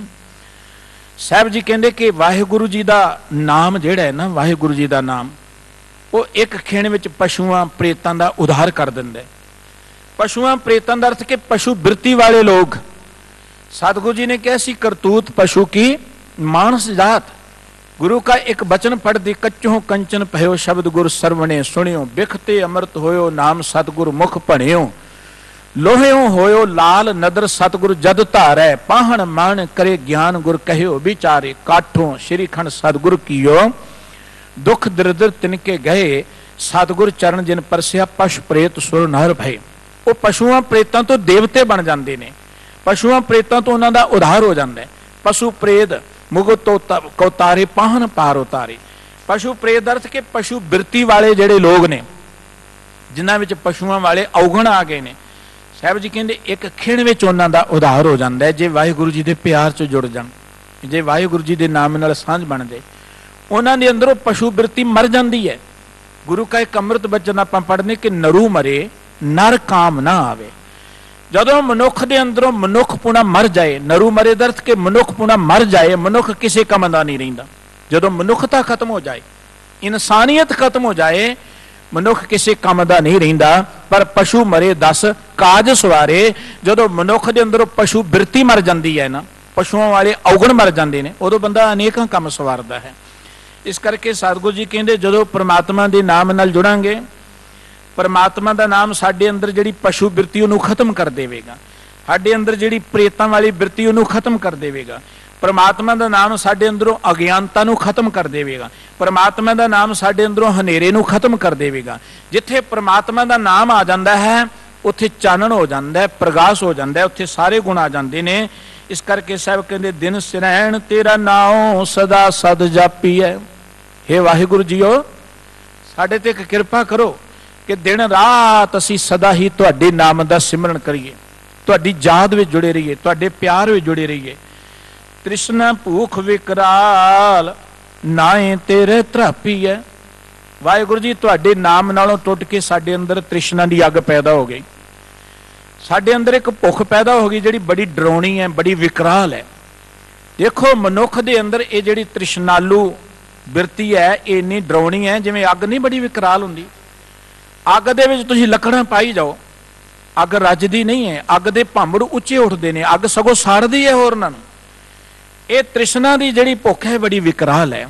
ਮਨੁੱਖ ਜਿੰਨੇ ਪਦਾਰਥ ਇਕੱਠੇ ਕਰਦਾ ਤਿਉਂ-ਤਿਉਂ ਉਹ ਵਿਕਰਾਲ ਹੁੰਦੀ ਚਲੀ ਜਾਂਦੀ ਹੈ। ਅੱਗ ਵਾਂਗੂ ਉਹਦੇ ਭਾਂਬੜ ਉੱਚੇ ਉੱਠਦੇ ਨੇ। ਇਦੋਂ ਵੱਡੀ ਵਿਕਰਾਲ ਗੱਲ ਕੀ ਹੋ ਸਕਦੀ ਹੈ? ਇਹ ਤ੍ਰਿਸ਼ਨਾਲੂ ਬੰਦਾ ਜਿਹੜਾ ਬੰਦਿਆਂ ਨੂੰ ਖਾਣਾ ਸ਼ੁਰੂ ਕਰ ਦਿੰਦਾ ਹੈ। ਮਨੁੱਖੀ ਸਮਾਜ ਨੂੰ ਖਤਮ ਕਰਨਾ ਸ਼ੁਰੂ ਕਰਦਾ ਹੈ। ਦੇਖੋ ਨੇ ਇਹ ਗੱਲਾਂ ਮਨੁੱਖ ਦੀ ਤ੍ਰਿਸ਼ਨਾਲੂ ਬਿਰਤੀ ਚੋਂ ਪੈਦਾ ਹੋਈਆਂ ਨੇ ਕਿ ਪੈਸਾ ਹੋਣਾ ਚਾਹੀਦਾ ਜਿਵੇਂ ਮਰਜ਼ੀ ਆਏ। ਭਾਵੇਂ ਨਸ਼ੇ ਵੇਚ ਕੇ ਮਿਲੇ, ਭਾਵੇਂ ਲੋਕਾਂ ਦੇ ਪੁੱਤਰ ਬਰਬਾਦ ਹੋ ਜਾਣ, ਪੈਸਾ ਹੋਣਾ ਚਾਹੀਦਾ ਇਹ ਤੋਂ ਵੱਡੀ ਤਰਸ ਵਿਕਰਾਲ ਬਿਰਤੀ ਕੀ ਹੋ ਸਕਦੀ ਹੈ? ਕਿ ਲੋਕਾਂ ਦੇ ਘਰ, ਲੋਕਾਂ ਦੀਆਂ ਜ਼ਿੰਦਗੀਆਂ ਬਰਬਾਦ ਹੁੰਦੀਆਂ ਹੋ ਹੀ ਜਾਣ, ਲੇਕਿਨ ਸਾਨੂੰ ਪੈਸਾ ਹੋਣਾ ਚਾਹੀਦਾ ਹੈ। ਸਾਡੀ ਗੱਦੀ ਕਾਇਮ ਰਹਿਣੀ ਚਾਹੀਦੀ ਹੈ। ਇਹ ਤੋਂ ਵੱਡੀ ਵਿਕਰਾਲ ਬਿਰਤੀ ਕੀ ਹੋ ਸਕਦੀ ਹੈ ਕਿ ਮਨੁੱਖ ਮਨੁੱਖ ਨੂੰ ਖਾਣ ਲਈ ਆਦਤ ਹੈ? ਇਹਦੋਂ ਵੱਡਾ ਵਿਕਰਾਲ ਸਰੂਪ ਕੋਈ ਨਹੀਂ ਹੋ ਸਕਦਾ। ਅਨੇਕਾਂ ਮਨੁੱਖ ਜਿਹੜੇ ਨੇ, ਮਨੁੱਖ ਦੀ ਇਸ ਵਿਕਰਾਲ ਬਿਰਤੀ ਦਾ ਸ਼ਿਕਾਰ ਹੋ ਜਾਂਦੇ ਨੇ, ਘਰਾਂ ਦੇ ਘਰ ਬਰਬਾਦ ਹੋ ਜਾਂਦੇ ਨੇ, ਉਹ ਹੋ ਰਹੇ ਨੇ। ਸਿਰਫ ਮਨੁੱਖ ਦੀ ਇਸ ਭੁੱਖ ਕਰਕੇ ਕਿ ਮੇਰੇ ਕੋਲ ਪੈਸਾ ਹੋਣਾ ਚਾਹੀਦਾ ਹੈ, ਉਹ ਪੈਸਾ ਕਿਵੇਂ ਆਉਂਦਾ ਹੈ, ਕੋਈ ਗੱਲ ਮਾਇਨੇ ਨਹੀਂ ਰੱਖਦੀ। ਨਸ਼ੇ ਵੇਲ ਕੇ ਮਿਲਦਾ ਹੈ, ਕਮਾ ਲਓ। ਕਿਸੇ ਨੂੰ ਮਾਰ ਕੇ ਮਿਲਦਾ ਹੈ, ਕਮਾ ਲਓ। ਕਿਸੇ ਦਾ ਖੋ ਕੇ ਮਿਲਦਾ ਬੇਈਮਾਨੀ ਨਾਲ ਮਿਲਦਾ ਲੈ ਲਓ। ਲੇਕਿਨ ਪੈਸਾ ਹੋਣਾ ਚਾਹੀਦਾ, ਇਹ ਇੱਕ ਵਿਕਰਾਲ ਰੂਪ ਹੈ ਮਨੁੱਖ ਦਾ। हे ਵਾਹਿਗੁਰੂ ਜੀਓ ਜਦੋਂ ਤੁਹਾਡੇ ਪਿਆਰ ਚ ਆਪਾਂ ਜੁੜਦੇ ਹਾਂ, ਤ੍ਰਿਸ਼ਨਾ ਭੁੱਖ ਵਿਕਰਾਲ ਨਾਏ ਤੇਰਾ ਧਰਾਪੀ ਹੈ ਤੁਹਾਡੇ ਨਾਮ ਨਾਲ ਜੁੜੇ ਹਾਂ। ਸਾਡੇ ਅੰਦਰ ਆ ਜਿਹੜੀ ਵਿਕਰਾਲ ਬਿਰਤੀ, ਬੜੀ ਡਰਾਉਣੀ ਬਿਰਤੀ ਹੈ ਨਾ, ਇਹ ਤ੍ਰਿਸ਼ਨਾ ਦੀ ਭੁੱਖ ਮਿਟਦੀ ਹੈ ਬੰਦਰਾ ਅੰਦਰ ਰੱਜਦਾ ਹੈ ਸਾਹਿਬ, ਸ੍ਰੀ ਗੁਰੂ ਗ੍ਰੰਥ ਸਾਹਿਬ ਜੀ ਦਾ ਬਚਨ ਕਿ ਤ੍ਰਿਸ਼ਨਾ ਨੂੰ ਮੇਟਣ ਦਾ ਇੱਕੋ ਇੱਕ ਸਾਧਨ ਹੈ ਵਾਹਿਗੁਰੂ ਜੀ ਦਾ ਸਿਮਰਨ। ਵਾਹਿਗੁਰੂ ਜੀ ਦੀ ਬੰਦਗੀ ਤੋਂ ਬਿਨਾ ਮਨੁੱਖ ਦੀ ਭੁੱਖ ਮਿਟ ਨਹੀਂ ਸਕਦੀ। ਜਿੰਨਾ ਮਰਜ਼ੀ ਮਨੁੱਖ ਪੈਸਾ ਕਮਾ ਲੇ, ਆਪਾਂ ਦੇਖਦੇ ਹਾਂ, ਜਿਉਂ-ਜਿਉਂ ਪੈਸਾ ਹੁੰਦਾ ਮਨੁੱਖ ਦੀ ਭੁੱਖ ਹੋਰ ਵੱਧਦੀ ਚਲੀ ਜਾਂਦੀ ਹੈ। ਸ੍ਰੀ ਗੁਰੂ ਗ੍ਰੰਥ ਸਾਹਿਬ ਜੀ ਦਾ ਬਚਨ ਕਿ ਤ੍ਰਿਸ਼ਨਾ ਵਿਰਲੇ ਹੀ ਕੀ ਬੂਝੀ ਹੈ। ਜਾਂ ਇੱਕ ਗੁਰਦੇਵ ਨੇ ਬਚਨ ਕਿਹਾ, ਤ੍ਰਿਸ਼ਨਾ ਬੂਝੈ ਹਰ ਕੈ ਨਾਮ। ਦੇਖੋ, ਜ਼ਿੰਦਗੀ ਦੇ ਵਿੱਚ ਰੋਟੀ ਚਾਹੀਦੀ ਹੈ, ਕੱਪੜਾ ਚਾਹੀਦਾ ਹੈ, ਮਕਾਨ ਚਾਹੀਦਾ ਹੈ। ਲੋੜ ਦੀਆਂ ਚੀਜ਼ਾਂ ਦੀ ਗੱਲ ਹੋਏ ਤੇ ਮਨੁੱਖ ਦੀਆਂ ਲੋੜਾਂ ਸਹਿਜੇ ਪੂਰੀਆਂ ਹੋ ਜਾਂਦੀਆਂ ਨੇ, ਮਿਹਨਤ ਕੀਤੀਆਂ ਸਹਿਜੇ ਪੂਰੀਆਂ ਹੋ ਜਾਂਦੀਆਂ ਨੇ। ਪਰ ਗੱਲ ਲੋੜ ਦੀ ਨਹੀਂ ਹੈ ਗੱਲ ਤੇ ਮਨੁੱਖ ਦੀ ਹੁਣ ਲੋਭ ਤੇ ਤ੍ਰਿਸ਼ਨਾਲੂ ਬਿਰਤੀ ਦੀ ਹੈ। ਉਹ ਤ੍ਰਿਸ਼ਨਾਲੂ ਬਿਰਤੀ ਕਦੀ ਪੂਰੀ ਨਹੀਂ ਹੋ ਸਕਦੀ। ਸਾਹਿਬ ਗੁਰੂ ਗ੍ਰੰਥ ਸਾਹਿਬ ਜੀ ਨੇ ਇੱਕ ਬਚਨ ਕਿਹਾ, ਭੁੱਖਿਆਂ ਭੁੱਖ ਨਾ ਉਤਰੇ ਜੇ ਬੰਨਾ ਪੁਰੀਆਂ ਭਾਰ। ਭਾਵੇਂ ਸਾਰੀਆਂ ਪੁਰੀਆਂ ਦੇ ਭਾਰ ਬਨ ਕੇ ਮਨੁੱਖ ਕੋ ਰੱਖ ਦਿਓ ਦੀ ਭੁੱਖ ਕਦੀ ਪੂਰੀ ਨਹੀਂ ਹੋਣੀ। ਉਹ ਕਦੀ ਰੱਜਣਾ ਨਹੀਂ ਹੈ। ਕਿਉਂਕਿ ਬੜੀ ਵਿਕਰਾਲ ਬਿਰਤੀ ਹੈ। ਜਿਵੇਂ ਅੰਨੇ ਖੂਹ ਵਿੱਚ ਜੋ ਕੁਝ ਮਰਜ਼ੀ ਸੁੱਟੀ ਜਾਓ, ਉਹ ਕਦੀ ਭਰ ਨਹੀਂ ਸਕਦਾ। ਇਸ ਤਰ੍ਹਾਂ ਮਨੁੱਖ ਦੀ ਤ੍ਰਿਸ਼ਨਾਲੂ ਬਿਰਤੀ ਇਹੋ ਜੀ ਇੰਨੀ ਡਰਾਉਣੀ ਹੈ ਕਿ ਸਾਰੀ ਦੁਨੀਆ ਨੂੰ ਹੜੱਪ ਕਰਕੇ ਵੀ ਮਨੁੱਖ ਭੁੱਖਾ ਹੀ ਰਹਿੰਦਾ ਸਾਰੀ ਦੁਨੀਆ ਨੂੰ ਹੜੱਪ ਕਰਕੇ ਮਨੁੱਖ ਰੋਂਦਾ ਹੀ ਜਾਂਦਾ ਇਸ ਦੁਨੀਆ ਤੋਂ, ਭੁੱਖਾ ਹੀ ਚਲਿਆ ਜਾਂਦਾ ਇਸ ਕਰਕੇ ਸਾਹਿਬ ਕਹਿੰਦੇ, ਵਾਹਿਗੁਰੂ ਜੀਓ, ਤੁਹਾਡਾ ਸਿਮਰਨ ਕੀਤਿਆਂ ਇਹ ਵਿਕਰਾਲ ਬਿਰਤੀ ਖਤਮ ਹੁੰਦੀ ਹੈ। ਅੰਦਰੋਂ ਭੁੱਖ ਮਿਟਦੀ ਹੈ, ਅੰਦਰੋਂ ਮਨੁੱਖ ਰੱਜਦਾ ਹੈ। ਰੋਗ, ਸੋਗ, ਦੁੱਖ ਵੰਜੈ, ਜਿਸ ਨਾਉ ਮਨ ਵਸੈ, ਜਿਸ ਮਨੁੱਖ ਦੇ ਮਨ ਵਿੱਚ ਨਾਮ ਵਸ ਜਾਂਦਾ ਹੈ। ਨਾਮ ਦਾ ਅਰਥ ਪ੍ਰਮਾਤਮਾ ਦਾ ਪਿਆਰ, ਨਾਮ ਦਾ ਅਰਥ ਪ੍ਰਮਾਤਮਾ ਦੇ ਗੁਣ। ਦੇਖੋ ਗੁਰੂ ਦੇ ਦਿੱਤੇ ਹੋਏ ਨਾਮ ਨੂੰ ਆਪਾਂ ਜਪਦੇ ਆਂ। ਵਾਹਿਗੁਰੂ ਸ਼ਬਦ ਕਹਿੰਦੇ ਆਂ, ਯਾਦ ਕਰਦੇ ਆਂ। ਵਾਹਿਗੁਰੂ ਜੀ ਦੇ ਸਾਰੇ ਗੁਣ ਸਾਡੇ ਸਾਹਮਣੇ ਆ ਜਾਣ ਕਿ ਵਾਹਿਗੁਰੂ ਦਿਆਲੂ ਹੈ, ਵਾਹਿਗੁਰੂ ਅਪਰਪਾਰ ਹੈ, ਵਾਹਿਗੁਰੂ ਨਿਰਭਉ ਹੈ, ਵਾਹਿਗੁਰੂ ਨਿਰਵੈਰ ਹੈ, ਵਾਹਿਗੁਰੂ ਜੀ ਸਾਰਿਆਂ ਨੂੰ ਪਿਆਰ ਕਰਨ ਵਾਲਾ ਹੈ, ਵਾਹਿਗੁਰੂ ਜੀ ਸਾਰਿਆਂ ਤੇ ਪਰਉਪਕਾਰ ਕਰਨ ਵਾਲਾ ਇਹ ਹੈ ਵਾਹਿਗੁਰੂ ਜੀ ਦਾ ਸਰੂਪ। ਕਿਸੇ ਬੰਦੇ ਦਾ ਨਾਮ ਲੈਨੇ ਨਾ ਆਪਾਂ। ਉਸ ਬੰਦੇ ਦਾ ਨਾਮ ਲੈਨੇ ਉਹਦੇ ਸਾਰੀ ਸ਼ਖਸੀਅਤ ਸਾਡੇ ਸਾਹਮਣੇ ਆ ਜਾਂਦੀ, ਕਿਉਂਕਿ ਇਹੋ ਜਿਹੀ ਹੈ। ਕਿਸੇ ਬੰਦੇ ਦਾ ਨਾਮ ਲੈਨੇ ਆ ਉਹਦੇ ਗੁਣ ਔਗਣ ਸਾਡੇ ਸਾਹਮਣੇ ਆ ਜਾਂਦੇ ਆਪਾਂ ਪੱਟ ਕਹਿੰਦੇ ਉਹ ਤੇ ਬੜਾ ਹੰਕਾਰੀ ਹੈ ਉਹ ਤੇ ਬੜਾ ਪਰਉਪਕਾਰੀ ਹੈ, ਕਿਸੇ ਬੰਦੇ ਦਾ ਨਾਮ ਲੈਂਦੇ ਆ ਵਾਹਿਗੁਰੂ ਜੀ ਦਾ ਨਾਮ ਲੈਂਦੇ ਆ ਵਾਹਿਗੁਰੂ ਜੀ ਦੇ ਸਾਰੀ ਜਿਹੜੀ ਸ਼ਖਸੀਅਤ ਹੈ, ਆਚਾਰ ਹੈ, ਗੁਣ ਹੈ, ਉਹ ਸਾਡੇ ਸਾਹਮਣੇ ਆ ਜਾਣ। ਤੇ ਫਿਰ ਉਹ ਜਿਉਂ-ਜਿਉਂ ਗੁਣ ਨੂੰ ਯਾਦ ਕਰਾਂਗੇ, ਵਾਹਿਗੁਰੂ ਜੀ ਦੇ ਸਰੂਪ ਨੂੰ ਯਾਦ ਕਰਾਂਗੇ, ਉਹ ਗੁਣ ਸਾਡੇ ਅੰਦਰ ਆਟੋਮੈਟਿਕਲੀ ਉਤਰਦੇ ਜਾਣਗੇ। ਸਾਡੀ ਸ਼ਖਸੀਅਤ ਵਿੱਚ ਆਉਂਦੇ ਜਾਣਗੇ। ਸਾਡਾ ਆਚਾਰ, ਸਾਡਾ ਕੈਰੈਕਟਰ ਉਸ ਜਿਹਾ ਬਣਦਾ ਚਲਿਆ ਜਾਏਗਾ। ਜਿਉਂ-ਜਿਉਂ ਸਾਡਾ ਉਸ ਜਿਹਾ ਕੈਰੈਕਟਰ ਬਣਨਾ ਸ਼ੁਰੂ ਹੋ ਗਿਆ, ਭਾਵ ਜੇ ਵਾਹਿਗੁਰੂ ਪਰਉਪਕਾਰੀ, ਅਸੀਂ ਪਰਉਪਕਾਰੀ ਬਣਦੇ ਜਾਈਏ। ਜੇ ਵਾਹਿਗੁਰੂ ਦਿਆਲੂ, ਆਪਾਂ ਦਿਆਲੂ ਬਣਦੇ ਜਾਈਏ। ਵਾਹਿਗੁਰੂ ਨਿਰਵੈਰ, ਆਪਾਂ ਉਹਦੇ ਗੁਣ ਗਾਉਂਦਿਆਂ ਈਰਖਾ ਤੋਂ ਰਹਿਤ ਹੁੰਦੇ ਜਾਈਏ। ਫਿਰ ਤਿਉਂ ਤਿਉਂ ਸਾਡੀ ਵਾਹਿਗੁਰੂ ਨਾਲ ਨੇੜਤਾ ਬਣ ਜਾਏਗੀ। ਵਾਹਿਗੁਰੂ ਜੀ ਵਿੱਚ ਲੀਨਤਾ ਹੁੰਦੀ ਜਾਏਗੀ। ਅਪੇਧ ਹੋ ਜਾਵਾਂਗੇ ਆਪਾਂ। ਗੁਰਬਾਣੀ ਕਹਿੰਦੀ, ਜਿਨ ਹਰ ਜਪਿਆ, ਸੇ ਹਰ ਹੋਏ। ਜਿਨ੍ਹਾਂ ਨੇ ਵਾਹਿਗੁਰੂ ਜੀ ਨੂੰ ਜਪਿਆ ਉਹ ਵਾਹਿਗੁਰੂ ਜੀ ਵਰਗੇ ਬਣ ਜਾਂਦੇ ਨੇ ਵਾਹਿਗੁਰੂ ਜੀ ਵਿੱਚ ਲਿਵਲੀਨ ਹੋ ਜਾਂਦੇ ਨੇ ਇਹ ਹੈ ਵਾਹਿਗੁਰੂ ਜੀ ਵਿੱਚ ਲਿਵਲੀਨ ਹੋਣਾ ਇਹ ਹੈ ਵਾਹਿਗੁਰੂ ਜੀ ਦੇ ਦੀਦਾਰ ਕਰਨੇ ਹੁਣ ਵਾਹਿਗੁਰੂ ਜੀ ਕੋ ਮਨੁੱਖ ਤਾਂ ਹੈ ਨਹੀਂ ਹੈ ਵਾਹਿਗੁਰੂ ਜੀ ਕੋ ਵਸਤੂ ਤਾਂ ਹੈ ਨਹੀਂ ਜਿਹੜਾ ਤੁਹਾਡੇ ਸਾਹਮਣੇ ਲਿਆ ਕੇ ਰੱਖ ਦਿੱਤੀ ਜਾਏ ਵਾਹਿਗੁਰੂ ਜੀ ਤਾਂ ਇੱਕ ਆਚਾਰ ਹੈ ਵਾਹਿਗੁਰੂ ਜੀ ਤਾਂ ਇੱਕ ਇਹੋ ਜਿਹਾ ਪੱਧਰ ਹੈ ਜਿੱਥੇ ਪਹੁੰਚ ਕੇ ਦੁਨੀਆ ਦੇ ਸਾਰੇ ਸੁੱਖ ਸਾਰੇ ਗੁਣ ਜ਼ਿੰਦਗੀ ਦੀਆਂ ਜਿੰਨੀਆਂ ਵਡਿਆਈਆਂ ਨੇ ਉਹ ਵਾਹਿਗੁਰੂ ਜੀ ਦੇ ਵਿੱਚ ਨੇ ਇਸ ਕਰਕੇ ਸਾਹਿਬ ਕਹਿੰਦੇ, ਜਿਉਂ-ਜਿਉਂ ਵਾਹਿਗੁਰੂ ਜੀ ਨੂੰ ਯਾਦ ਕਰਾਂਗੇ ਨਾ, ਸਾਡੇ ਅੰਦਰੋਂ ਰੋਗ ਮਿਟਣਗੇ। ਸਾਡੇ ਅੰਦਰ ਹੰਕਾਰ ਦਾ ਰੋਗ ਹੈ। ਵਾਹਿਗੁਰੂ ਜੀ ਨੂੰ ਯਾਦ ਕੀਤਿਆਂ ਹੰਕਾਰ ਦਾ ਰੋਗ ਮਿਟੇਗਾ। ਹੰਕਾਰ ਦਾ ਰੋਗ ਕਿਸੇ ਤਰੀਕੇ ਨਾਲ ਨਹੀਂ ਮਿਟ ਸਕਦਾ। ਦੁਨੀਆ 'ਚ ਸਾਰੇ ਰੋਗਾਂ ਦਾ ਇਲਾਜ ਹੈ, ਪਰ ਹੰਕਾਰ ਦੇ ਰੋਗ ਤੋਂ ਬਚਣਾ ਬੜਾ ਔਖਾ ਹੈ। ਸਾਹਿਬ ਜੀ ਕਹਿੰਦੇ, ਇਸ ਰੋਗ ਤੋਂ ਮੁਕਤ ਹੋਣ ਦਾ ਇੱਕੋ ਇੱਕ ਤਰੀਕਾ ਹੈ, ਗੁਰੂ ਕੇ ਸ਼ਬਦ ਰਾਹੀਂ ਪ੍ਰਮਾਤਮਾ ਦਾ ਸਿਮਰਨ ਕਰੋ। ਵਾਹਿਗੁਰੂ ਜੀ ਦੇ ਗੁਣਾਂ ਨੂੰ ਜਿਉਂ-ਜਿਉਂ ਯਾਦ ਕਰਾਂਗੇ, ਸਾਡੇ ਅੰਦਰੋਂ ਸੋਗ ਮਿਟੇਗਾ, ਚਿੰਤਾ ਮਿਟੇਗੀ। ਦੇਖੋ, ਬੰਦੇ ਕੋ ਜਿੰਨਾ ਮਰਜ਼ੀ ਧਨ ਹੋਏ, ਜਿੰਨਾ ਮਰਜ਼ੀ ਵੱਡਾ ਰੁਤਬਾ ਹੋਏ, ਉਹਨੂੰ ਚਿੰਤਾ, ਰੋਗ, ਸੋਗ ਵਿਆਪਦੇ ਰਹਿੰਦੇ ਨੇ। ਉਹ ਕਦੀ ਚਿੰਤਾ ਤੋਂ ਮੁਕਤ ਨਹੀਂ ਹੋ ਸਕਦਾ। ਸਗੋਂ ਜਿਸ ਗਰੇ ਬਹੁਤ, ਤਿਸੇ ਗਰੇ ਚਿੰਤਾ। ਜਿੱਥੇ ਬਹੁਤਾ ਧਨ, ਬਹੁਤਾ ਰੁਤਬਾ, ਉੱਥੇ ਜ਼ਿਆਦਾ ਚਿੰਤਾ ਹੈ। ਜਿੱਧਰ ਨਜ਼ਰ ਮਾਰੋ, ਹਰ ਬੰਦਾ ਜ਼ਿਆਦਾ ਹੀ ਚਿੰਤਨ ਨਜ਼ਰ ਆ ਰਿਹਾ ਹੈ। ਸਾਹਿਬ ਜੀ ਕਹਿੰਦੇ, ਜੇ ਪ੍ਰਮਾਤਮਾ ਜੀ ਤੁਹਾਡੇ ਨਾਮ ਨੂੰ ਯਾਦ ਕਰਾਂਗੇ, ਨਾ ਰੋਗ, ਸੋਗ, ਦੁੱਖ ਵੰਝੈ। ਇਹ ਵਾਹਿਗੁਰੂ ਜੀ, ਤੁਹਾਡੇ ਨਾਮ ਨੂੰ ਚੇਤੇ ਕੀਤੇ ਅੰਦਰੋਂ ਰੋਗ ਮਿਟਦੇ ਨੇ। ਤੁਹਾਡੇ ਨਾਮ ਨੂੰ ਚੇਤੇ ਕੀਤੇ ਅੰਦਰੋਂ ਸੋਗ, ਚਿੰਤਾ ਮਿਟਦੀ ਹੈ। ਅੰਦਰ ਆਨੰਦ ਪੈਦਾ ਹੁੰਦਾ ਹੈ, ਅੰਦਰ ਚਾਹ ਪੈਦਾ ਹੁੰਦਾ ਹੈ, ਅੰਦਰ ਖੇੜਾ ਪੈਦਾ ਹੁੰਦਾ ਹੈ। ਗੁਰੂ ਬਾਬਾ ਜੀ ਨੇ ਇੱਕ ਬਚਨ ਕਿਹਾ ਸੀ ਕਿ ਰਸਨਾ ਗੁਣ ਗੋਪਾਲ ਨਿਦ ਗਾਇਣ, ਸ਼ਾਂਤ ਸਹਿਜ ਰਹਸ ਮਨ ਉਪਜਿਓ, ਸਗਲੇ ਦੁਖ ਪਲਾਇਣ। ਭਈ ਰਸਨਾ ਨਾਲ ਵਾਹਿਗੁਰੂ ਜੀ ਦੇ ਗੁਣ ਗਾਓ, ਤੁਹਾਡੇ ਅੰਦਰ ਸ਼ਾਂਤੀ ਪੈਦਾ ਹੋਏਗੀ। ਤੁਹਾਡੇ ਅੰਦਰ ਸਹਿਜ ਪੈਦਾ ਹੋਏਗਾ, ਤੁਹਾਡੇ ਅੰਦਰ ਖੇੜਾ ਪੈਦਾ ਹੋਏਗਾ, ਤੁਹਾਡੇ ਅੰਦਰੋਂ ਸਾਰੇ ਹੀ ਦੁੱਖ ਭੱਜ ਜਾਣਗੇ।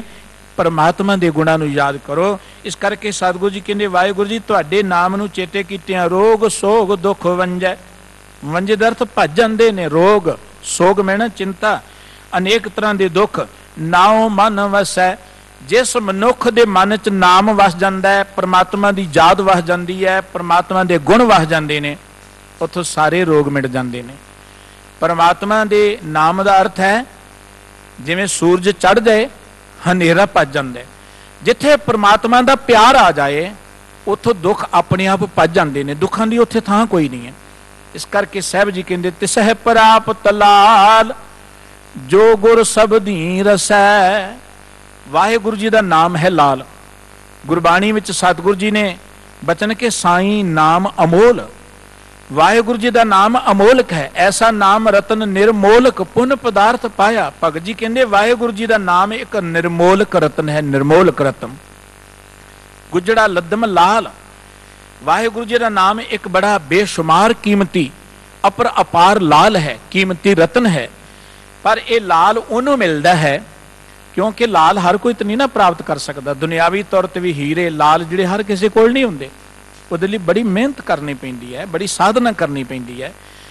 ਸਾਹਿਬ ਜੀ ਕਹਿੰਦੇ ਕਿ ਵਾਹਿਗੁਰੂ ਜੀ ਦਾ ਨਾਮ ਜਿਹੜਾ ਇੱਕ ਅਮੋਲਕ ਲਾਲ ਹੈ, ਉਹਨੂੰ ਮਿਲਦਾ ਜੋ ਗੁਰ ਸਬਦੀ ਰਸ ਹੈ, ਜਿਹੜਾ ਗੁਰੂ ਕੇ ਸ਼ਬਦ ਰਾਹੀਂ ਵਾਹਿਗੁਰੂ ਜੀ ਦੇ ਰਸ ਵਿੱਚ ਲਿਵਲੀਨ ਹੋ ਜਾਂਦਾ ਹੈ। ਗੁਰਬਾਣੀ ਪੜ੍ਹਦੇ ਆਂ ਪੜ੍ਹਦੇ ਆਂ ਪਰਮਾਤਮਾ ਦੇ ਨਾਮ ਵਿੱਚ ਜਿਹੜਾ ਲਿਵਲੀਨ ਹੋ ਜਾਂਦਾ ਹੈ। ਪਰਮਾਤਮਾ ਦੇ ਨਾਮ ਨਾਲ ਸਭ ਤੋਂ ਉੱਤਮ ਸਾਧਨ ਜੁੜਨ ਦਾ ਇੱਕੋ ਇੱਕ ਹੈ ਕਿ ਗੁਰਬਾਣੀ ਨਾਲ ਪਿਆਰ ਕਰੋ, ਪਿਆਰ ਨਾਲ ਬਾਣੀ ਪੜੋ ਜਿਉਂ-ਜਿਉਂ ਗੁਰਬਾਣੀ ਪੜੋਗੇ ਪਰਮਾਤਮਾ 'ਚ ਲਿਵਲੀਨਤਾ ਹੋਏਗੀ। ਮੈਂ ਬੇਨਤੀ ਕਰਾਂ, ਕਈ ਵਾਰੀ ਆਮ ਆਪਾਂ ਕੁਐਸਚਨ ਕਰਦੇ ਹਾਂ ਔਰ ਲੋਕ ਵੀ ਕਹਿੰਦੇ ਜੀ ਧਿਆਨ ਇਦਾਂ ਟਿਕਾਉਣਾ ਹੈ, ਇੱਥੇ ਸੁਰਤ ਜੋੜਨੀ ਹੈ। ਪਰ ਮਾਫ ਕਰਨਾ, ਗੁਰਬਾਣੀ ਦੇ ਵਿੱਚ ਸੁਰਤ ਜੋੜ ਲੋਗੇ, ਪਰਮਾਤਮਾ 'ਚ ਆਟੋਮੈਟਿਕਲੀ ਸੁਰਤ ਜੁੜ ਜਾਏਗੀ। ਗੁਰਬਾਣੀ 'ਚ ਧਿਆਨ ਲਗਾ ਲੋਗੇ, ਪਰਮਾਤਮਾ 'ਚ ਧਿਆਨ ਲੱਗ ਜਾਏਗਾ। ਗੁਰਬਾਣੀ ਦਾ ਪਿਆਰ ਦਰਤੀ ਪਰਮਾਤਮਾ ਦਾ ਪਿਆਰ ਹੈ। ਭਾਈ ਗੁਰਦਾਸ ਜੀ ਦਾ ਇੱਕ ਬਚਨ ਹੈ ਕਿ ਦੀਵੇ ਤੇ ਪਤੰਗਾ ਹੁੰਦਾ ਹੈ ਨਾ ਉਹਨੂੰ ਲਾਈਟ ਪਿਆਰੀ ਲੱਗਦੀ, ਘੁੰਮਦਾ ਘੁੰਮਦਾ ਲਾਈਟ ਤੇ ਡਿੱਗ ਕੇ ਸੜ ਜਾਂਦਾ ਉਹ ਮਰਨ ਲਈ ਨਹੀਂ ਹੁੰਦਾ ਪਰ ਉਹਨੂੰ ਲਾਈਟ ਪਿਆਰੀ ਲੱਗਦੀ, ਉਹ ਵਿਚਾਰਾ ਮਰ ਜਾਂਦਾ ਜਿਵੇਂ ਦਾਣੇ ਚੁਗਦਿਆਂ ਚੁਗਦਿਆਂ ਦਾਣਿਆਂ ਦੇ ਲਾਲਚ ਪੰਛੀ ਸ਼ਿਕਾਰੀ ਦੇ ਜਾਲ 'ਚ ਫਸ ਜਾਂਦਾ ਜਿਵੇਂ ਭੌਰਾ ਸੁਗੰਧੀ ਨੂੰ ਮਾਣਦਾ ਮਾਣਦਾ ਇੱਕ ਦਿਨ ਕਮਲ ਦੇ ਉੱਪਰ ਫਸ ਜਾਂਦਾ ਤਿਵੇਂ ਜਿਹੜਾ ਬੰਦਾ ਰੋਜ਼ ਪਿਆਰ ਨਾਲ ਬਾਣੀ ਪੜੇਗਾ ਰੋਜ਼ ਪਿਆਰ ਨਾਲ ਬਾਣੀ ਪੜੇਗਾ ਉਹਦੀ ਸੁਰਤ ਆਟੋਮੈਟਿਕਲੀ ਪ੍ਰਮਾਤਮਾ 'ਚ ਲਿਵਲੀਨ ਹੋ ਜਾਏਗੀ। ਇਸ ਕਰਕੇ ਗੁਰਬਾਣੀ ਰੋਜ਼ ਪੜ੍ਹਨੀ ਪਿਆਰ ਦੇ ਨਾਲ। ਰੋਜ਼ ਸਿਮਰਨ ਕਰਨਾ ਹੈ, ਰੋਜ਼ ਵਾਹਿਗੁਰੂ ਜੀ ਦੀ ਬਾਣੀ ਪੜ੍ਹਨੀ ਨਿਤਨੇਮ ਨਾਲ ਬਾਣੀ ਪੜ੍ਹਨੀ ਆਪ ਨਿਤਨੇਮ ਦਾ ਅਰਥ ਕਿ ਜਿਹੜਾ ਰੋਜ਼ ਕਰਮ ਆਪਾਂ ਕਰਨਾ ਹੈ, ਨਿਤ ਬਾਣੀ ਪੜ੍ਹਨੀ ਗੁਰੂ ਕੀ। ਇਸ ਕਰਕੇ ਸਤਿਗੁਰੂ ਜੀ ਕਹਿੰਦੇ, ਜਿਹੜਾ ਗੁਰੂ ਦੇ ਸ਼ਬਦ ਦੇ ਨਾਲ ਜੁੜਦਾ ਹੈ, ਜਿਹੜਾ ਗੁਰੂ ਦੇ ਸ਼ਬਦ ਦੇ ਨਾਲ ਪਿਆਰ ਪਾਉਂਦਾ ਹੈ, ਉਹਨੂੰ ਇਹ ਵਾਹਿਗੁਰੂ ਜੀ ਦਾ ਨਾਮ ਰੂਪੀ ਲਾਲ ਮਿਲ ਜਾਂਦਾ ਹੈ। ਜਿਹਦਾ ਗੁਰੂ ਦੇ ਬਚਨਾਂ ਨਾਲ ਪਿਆਰ ਨਹੀਂ ਹੈ, ਜਿਹੜਾ ਗੁਰੂ ਦੀ ਬਾਣੀ ਨਾਲ ਪਿਆਰ ਨਹੀਂ ਕਰਦਾ, ਉਹ ਨਾਮ ਨਾਲ ਪਿਆਰ ਕਿੱਥੋਂ ਪਾਏਗਾ? ਦੇਖੋ ਨਾ, ਜਿਹਨੂੰ ਗੁਰੂ ਕੇ ਬਚਨ ਹੀ ਚੰਗੇ ਨਹੀਂ ਲੱਗੇ ਉਹਨੂੰ ਪ੍ਰਮਾਤਮਾ ਦੇ ਨਾਮ ਨਾਲ ਪ੍ਰੀ ਕਿੱਥੋਂ ਬਣੇਗੀ? ਇਸ ਕਰਕੇ ਸਤਿਗੁਰੂ ਜੀ ਨੇ ਸਾਨੂੰ ਬੜਾ ਸੌਖਾ ਸਾਧਨ ਦੱਸਿਆ ਹੈ ਕਿ ਆਪਾਂ ਗੁਰੂ ਨਾਲ ਪਿਆਰ ਕਰੀਏ, ਗੁਰੂ ਦੀ ਬਾਣੀ ਨਾਲ ਪਿਆਰ ਕਰੀਏ, ਗੁਰੂ ਦੀ ਰਜ਼ਾ ਵਿੱਚ ਚਲੀਏ। ਜਿਉਂ-ਜਿਉਂ ਗੁਰਬਾਣੀ ਨਾਲ ਪਿਆਰ ਪਾਓਗੇ, ਤਿਉਂ-ਤਿਉਂ ਤੁਹਾਡੇ ਅੰਦਰ ਅੰਦਰੋਂ ਭੁੱਖਾਂ ਮਿਟਣਗੀਆਂ, ਤਿਉਂ-ਤਿਉਂ ਤੁਹਾਡੇ ਅੰਦਰੋਂ ਔਗਣ ਮਿਟਣਗੇ। ਦੇਖੋ, ਪ੍ਰਮਾਤਮਾ ਦਾ ਨਾਮ ਕਿਤੇ ਬਾਹਰ ਨਹੀਂ ਹੈ। ਨਾਮ ਤਾਂ ਅੰਦਰ ਹੀ ਹੈ। ਨਾਮ ਹਰ ਮਨੁੱਖ ਦੇ ਅੰਦਰ ਹੈ। ਹਰ ਮਨੁੱਖ ਦੇ ਅੰਦਰ ਪ੍ਰਮਾਤਮਾ ਨੇ ਇਹ ਨਾਮ ਰੂਪੀ ਰਤ ਰੱਖਿਆ ਹੋਇਆ ਹੈ। ਸਾਹਿਬ ਗੁਰੂ ਗ੍ਰੰਥ ਸਾਹਿਬ ਜੀ ਦਾ ਬਚਨ ਕਿ ਮਨਮੁਖ ਕੋਠੀ ਅਗਿਆਨ ਅੰਧੇਰਾ, ਤਿੰਨ ਘਰ ਰਤਨ ਲਖਾ। ਮਨਮੁਖਤਾ ਕਰਕੇ ਮਨੁੱਖ ਦੇ ਅੰਦਰ ਹਨੇਰਾ ਤੇ ਅੰਦਰੋਂ ਇਸ ਰਤਨ ਦਾ ਉਹਨੂੰ ਗਿਆਨ ਨਹੀਂ ਹੈ। ਜਿਵੇਂ ਛੱਪੜ ਦਾ, ਸਰੋਵਰ ਦਾ ਪਾਣੀ ਕੱਖਾਂ ਨਾਲ ਟੱਕਿਆ ਨਹੀਂ ਜਾਂਦਾ, ਇਵੇਂ ਆਪਾਂ ਅੰਦਰੋਂ ਔਗਣਾ ਨਾਲ ਟੱਕੇ ਹੋਏ ਆ ਸਾਡਾ ਅੰਦਰੋਂ ਉਹ ਨਾਮ ਰੂਪੀ ਰਤਨ ਟੱਕਿਆ ਹੋਇਆ ਔਗਣਾ ਨਾਲ, ਬੁਰਾਈਆਂ ਨਾਲ। ਗੁਰਬਾਣੀ ਨਾਲ ਜੁੜ ਕੇ ਗੁਣ ਧਾਰਨ ਕਰਕੇ ਔਗਣ ਅੰਦਰੋਂ ਮਿਟਦੇ ਜਾਣ, ਅੰਦਰੋਂ ਆਪੇ ਲਾਲ ਪ੍ਰਗਟ ਹੋ ਜਾਏਗਾ, ਉਹ ਰਤਨ ਪ੍ਰਗਟ ਹੋ ਜਾਏਗਾ। ਇਸ ਕਰਕੇ ਗੁਰੂ ਸਤਿਗੁਰੂ ਜੀ ਕਹਿੰਦੇ, ਜਦੋਂ ਗੁਰਬਾਣੀ ਨਾਲ ਪਿਆਰ ਪੈ ਗਿਆ, ਜਦੋਂ ਗੁਰਬਾਣੀ ਦੇ ਗੁਣ ਅੰਦਰ ਵਸ ਗਏ, ਉਹਨੂੰ ਲਾਲ ਪ੍ਰਾਪਤ ਹੋ ਜਾਏਗਾ, ਨਾਮ ਪ੍ਰਾਪਤ ਹੋ ਜਾਏਗਾ। ਖੰਡ ਬ੍ਰਹਿਮੰਡ ਬੇਅੰਤ ਉਦਾਹਰਣ ਹਾਰਿਆ। ਧੰਨ ਗੁਰੂ ਅਰਜਨ ਦੇਵ ਜੀ ਕਹਿੰਦੇ, ਹੈ ਵਾਹਿਗੁਰੂ ਜੀ, ਤੁਸੀਂ ਬੇਅੰਤ ਖੰਡਾਂ, ਬ੍ਰਹਿਮੰਡਾਂ ਦੇ ਬੇਅੰਤ ਲੋਕਾਂ ਦਾ ਉਧਾਰ ਕਰਨ ਵਾਲੇ ਹੋ। ਇਹ ਸਾਰੇ ਖੰਡਾਂ ਬ੍ਰਹਿਮੰਡਾਂ ਨੂੰ ਬਣਾਉਣ ਵਾਲੇ ਵੀ ਵਾਹਿਗੁਰੂ ਜੀ ਨੇ ਤੇ ਇਹਨਾਂ ਜੀਵਾਂ ਦਾ ਉਧਾਰ ਜਾਂ ਇਹਨਾਂ ਦੀ ਪ੍ਰਤਪਾਲਣਾ ਵੀ ਵਾਹਿਗੁਰੂ ਜੀ ਕਰਦੇ, ਹੋਰ ਨਹੀਂ ਕੋਈ ਕਰਨ ਵਾਲਾ। ਇਹਨਾਂ ਦੀ ਸਿਰਜਣਾ ਕਰਨ ਵਾਲੇ, ਇਹਨਾਂ ਦਾ ਉਧਾਰ ਕਰਨ ਵਾਲੇ ਵਾਹਿਗੁਰੂ ਜੀ ਨੇ। ਤੇਰੀ ਸੋਭਾ ਤੁਧ ਸੱਚੇ ਮੇਰੇ ਪਿਆਰਿਆ हे ਮੇਰੇ ਪਿਆਰੇ ਵਾਹਿਗੁਰੂ ਜੀਓ, ਤੁਹਾਡੀ ਸੋਭਾ ਤੇ ਤੁਹਾਨੂੰ ਬਣਾਉਂਦੀ ਹੈ। ਤੁਹਾਡੀ ਵਡਿਆਈ ਨੂੰ ਆਪਾਂ ਬਿਆਨ ਨਹੀਂ ਕਰ ਸਕਦੇ। ਪਰਮਾਤਮਾ ਦੇ ਗੁਣ ਗਾਉਣ ਦਾ ਇਹ ਅਰਥ ਨਹੀਂ ਹੈ ਕਿ ਆਪਾਂ ਪਰਮਾਤਮਾ ਦੇ ਗੁਣ ਗਾ ਗਾ ਕੇ ਕਵਾਂਗੇ ਇੰਨੀ ਵਡਿਆਈ ਕਰ ਲਈ ਹੈ ਜਾਂ ਆਪਾਂ ਇੰਨੇ ਗੁਣ ਗਾਇਨ ਕਰ ਲਏ ਨੇ। ਆਪਾਂ ਪਰਮਾਤਮਾ ਦੇ ਗੁਣਾਂ ਦਾ ਕੀ ਗਾਇਨ ਕਰ ਸਕਦੇ ਹਾਂ? ਸਾਡੀ ਤੇ ਰਸਨਾ ਇੱਕ ਹੈ, ਪਰਮਾਤਮਾ ਦੇ ਗੁਣ ਬੇਅੰਤ ਨੇ। ਕੋਈ ਪੰਛੀ ਆਕਾਸ਼ ਦਾ ਪਾਰਾਵਾਰ ਨਹੀਂ ਪਾ ਸਕਦਾ। ਹਾਂ, ਉੱਡ ਕੇ ਆਨੰਦ ਮਾਣ ਸਕਦਾ ਕੋਈ ਮੱਛੀ ਪਾਣੀ ਦਾ ਅੰਤ ਨਹੀਂ ਲੈ ਸਕਦੀ, ਪਰ ਉਹ ਚ ਜੀਵਨਤਾ ਮਾਣ ਸਕਦੀ ਹੈ। ਕੋਈ ਮਨੁੱਖ ਪਰਮਾਤਮਾ ਦੇ ਗੁਣ ਗਾ ਕੇ ਪਰਮਾਤਮਾ ਦਾ ਅੰਤ ਨਹੀਂ ਪਾ ਸਕਦਾ। ਇਹ ਨਹੀਂ ਕਹਿ ਸਕਦਾ ਕਿ ਪਰਮਾਤਮਾ ਇਹੋ ਜੀ ਦੀ ਸੋਭਾ ਇਨੀ ਕੁ ਹੈ, ਜਾਂ ਪਰਮਾਤਮਾ ਇਹਨੇ ਗੁਣਾਂ ਵਾਲਾ ਹੈ। ਹਾਂ, ਪਰਮਾਤਮਾ ਦੇ ਗੁਣ ਗਾ ਕੇ ਅਸੀਂ ਆਨੰਦ ਮਾਣ ਸਕਦੇ ਹਾਂ। ਪਰਮਾਤਮਾ ਚ ਲਿਵਲੀਨ ਹੋ ਸਕਦੇ ਹਾਂ। ਇਸ ਕਰਕੇ ਗੁਰਬਾਣੀ ਕਹਿੰਦੀ ਕਿ, ਵਾਹਿਗੁਰੂ ਜੀ, ਤੁਹਾਡੀ ਸੋਭਾ ਨੂੰ ਤੇ ਤੁਸੀਂ ਜਾਣਦੇ ਹੋ। ਤੁਹਾਡੇ ਵਰਗੀ ਸੋਭਾ ਕੇਵਲ ਤੁਹਾਡੀ ਹੈ। ਤੁਹਾਡਾ ਕੋਈ ਪਾਰਾਵਾਰ ਨਹੀਂ ਪਾ ਸਕਦਾ। ਵਾਹਿਗੁਰੂ ਜੀ ਨੇ ਕਿੰਨੀ ਕਿਰਪਾ ਕੀਤੀ ਸਾਨੂੰ ਮਨੁੱਖਾ ਦੇਹੀ ਦਿੱਤੀ ਹੈ। ਔਰ ਇਸ ਮਨੁੱਖਾ ਦੇਹੀ ਵਿੱਚ ਜਿਉਂ-ਜਿਉਂ ਆਪਾਂ ਵਾਹਿਗੁਰੂ ਜੀ ਦੇ ਗੁਣ ਗਾਵਾਂਗੇ ਤਿਉਂ-ਤਿਉਂ ਉੱਚੇ ਉੱਠਦੇ ਜਾਵਾਂਗੇ। ਵਾਹਿਗੁਰੂ ਜੀ ਨੇ ਸਾਨੂੰ ਇਨਸਾਨ ਬਣਾ ਕੇ ਭੇਜਿਆ ਵਾਹਿਗੁਰੂ ਜੀ ਦੇ ਗੁਣ ਗਾਉਂਦਿਆਂ ਗਾਉਂਦਿਆਂ ਸਾਡਾ ਭਗਵਾਨ ਵਰਗਾ ਸੁਭਾਅ ਬਣ ਜਾਏਗਾ, ਪਰਮਾਤਮਾ ਵਰਗਾ ਸੁਭਾਅ ਬਣ ਜਾਏਗਾ। ਐਵੇਂ ਕਹਿ ਲਓ, ਪਰਮਾਤਮਾ ਵਿੱਚ ਲਿਵਲੀਨ ਹੋ ਜਾਵਾਂਗੇ। ਪਰ ਜਦੋਂ ਬੰਦਾ ਪ੍ਰਮਾਤਮਾ ਨਾਲੋਂ ਟੁੱਟ ਜਾਂਦਾ ਹੈ, ਉਦੋਂ ਫਿਰ ਉਹਦੀ ਜ਼ਿੰਦਗੀ 'ਚ ਗਿਰਾਵਟ ਆਉਣੀ ਸ਼ੁਰੂ ਹੋ ਜਾਂਦੀ, ਨਿਵਾਣ ਵੱਲ ਨੂੰ ਜਾਂਦਾ ਹੈ। ਮਨੁੱਖ ਤੋਂ ਨੀਵੇਂ ਤੇ ਫਿਰ ਪਸ਼ੂ ਨੇ। ਬੰਦਾ ਪਸ਼ੂਆਂ ਤੋਂ ਨੀਵਾਂ ਚਲਿਆ ਜਾਂਦਾ ਹੈ। ਗੁਰਬਾਣੀ ਕਹਿੰਦੀ, ਅਗਾਹਾਂ ਕੂ ਤਰਾਗ। ਪਿਛਾਹਾਂ ਫੇਰਨਾ ਮੋਹੜੜਾ ਬੰਦਿਆ, ਤੈਨੂੰ ਵਾਹਿਗੁਰੂ ਜੀ ਨੇ ਮਨੁੱਖ ਬਣਾ ਕੇ ਭੇਜਿਆ, ਮਨੁੱਖ ਤੋਂ ਪ੍ਰਮਾਤਮਾ ਬਣ। ਪਿੱਛੇ ਨੂੰ ਨਾ ਮੋੜ, ਪਿੱਛੇ ਨੂੰ ਨਾ ਦੇਖ। ਜੇ ਤੂੰ ਪ੍ਰਮਾਤਮਾ ਬਣਨਾ ਹੈ ਪ੍ਰਮਾਤਮਾ ਦੇ ਗੁਣ ਗਾ। ਗੁਰੂ ਗ੍ਰੰਥ ਸਾਹਿਬ ਜੀ ਦੀ ਪਾਵਨ ਬਾਣੀ ਸਾਨੂੰ ਕੇਵਲ ਤਾਂ ਕੇਵਲ ਵਾਹਿਗੁਰੂ ਜੀ ਦੀ ਕੀਰਤੀ ਦੀ ਪ੍ਰੇਰਣਾ ਕਰਦੀ ਹੈ। ਅੱਜ ਦੇ ਮੁਖਵਾਕ ਰਾਹੀਂ ਸਤਿਗੁਰੂ ਜੀ ਨੇ ਗਿਆਨ ਵੀ ਇਹੀ ਦਿੱਤਾ ਹੈ ਕਿ ਆਪਾਂ ਗੁਰੂ ਰਾਹੀਂ ਪ੍ਰਮਾਤਮਾ ਦੇ ਗੁਣ ਗਾਈਏ। ਸਾਡੇ ਅੰਦਰੋਂ ਵਿਕਰਾਲਤਾ ਖਤਮ ਹੋਏਗੀ, ਡਰਾਉਣੇ ਔਗੁਣ ਮਿਟਣਗੇ, ਪਰਮਾਤਮਾ ਦੇ ਗੁਣ ਵਸਣਗੇ, ਆਪਾਂ ਉਹਦੇ ਪਿਆਰ 'ਚ ਲਿਵਲੀਨ ਹੋ ਜਾਵਾਂਗੇ। ਇੰਨੀਆਂ ਬੇਨਤੀਆਂ ਪ੍ਰਵਾਨ ਕਰਨੀਆਂ, ਭੁੱਲਾਂ ਚੁੱਕਾਂ ਦੀ ਖਿਮਾ ਜੀ। ਸਤਿਗੁਰੂ ਸਾਰਿਆਂ ਨੂੰ ਆਪਣੇ ਦਰੋਂ ਕੋਲ ਨਾਮਦਾਨ ਸਿੱਖੀ ਸਿਰਕ ਭਰੋਸਾ ਬਖਸ਼ ਕੇ ਕਿਰਤਾਰਥ ਕਰਨ। ਪਿਆਰ ਸਹਿਤ ਫਤਿਹ ਬੁਲਾਓ। ਵਾਹਿਗੁਰੂ ਜੀ ਕਾ ਖਾਲਸਾ। ਵਾਹਿਗੁਰੂ ਜੀ ਕੀ ਫਤਿਹ।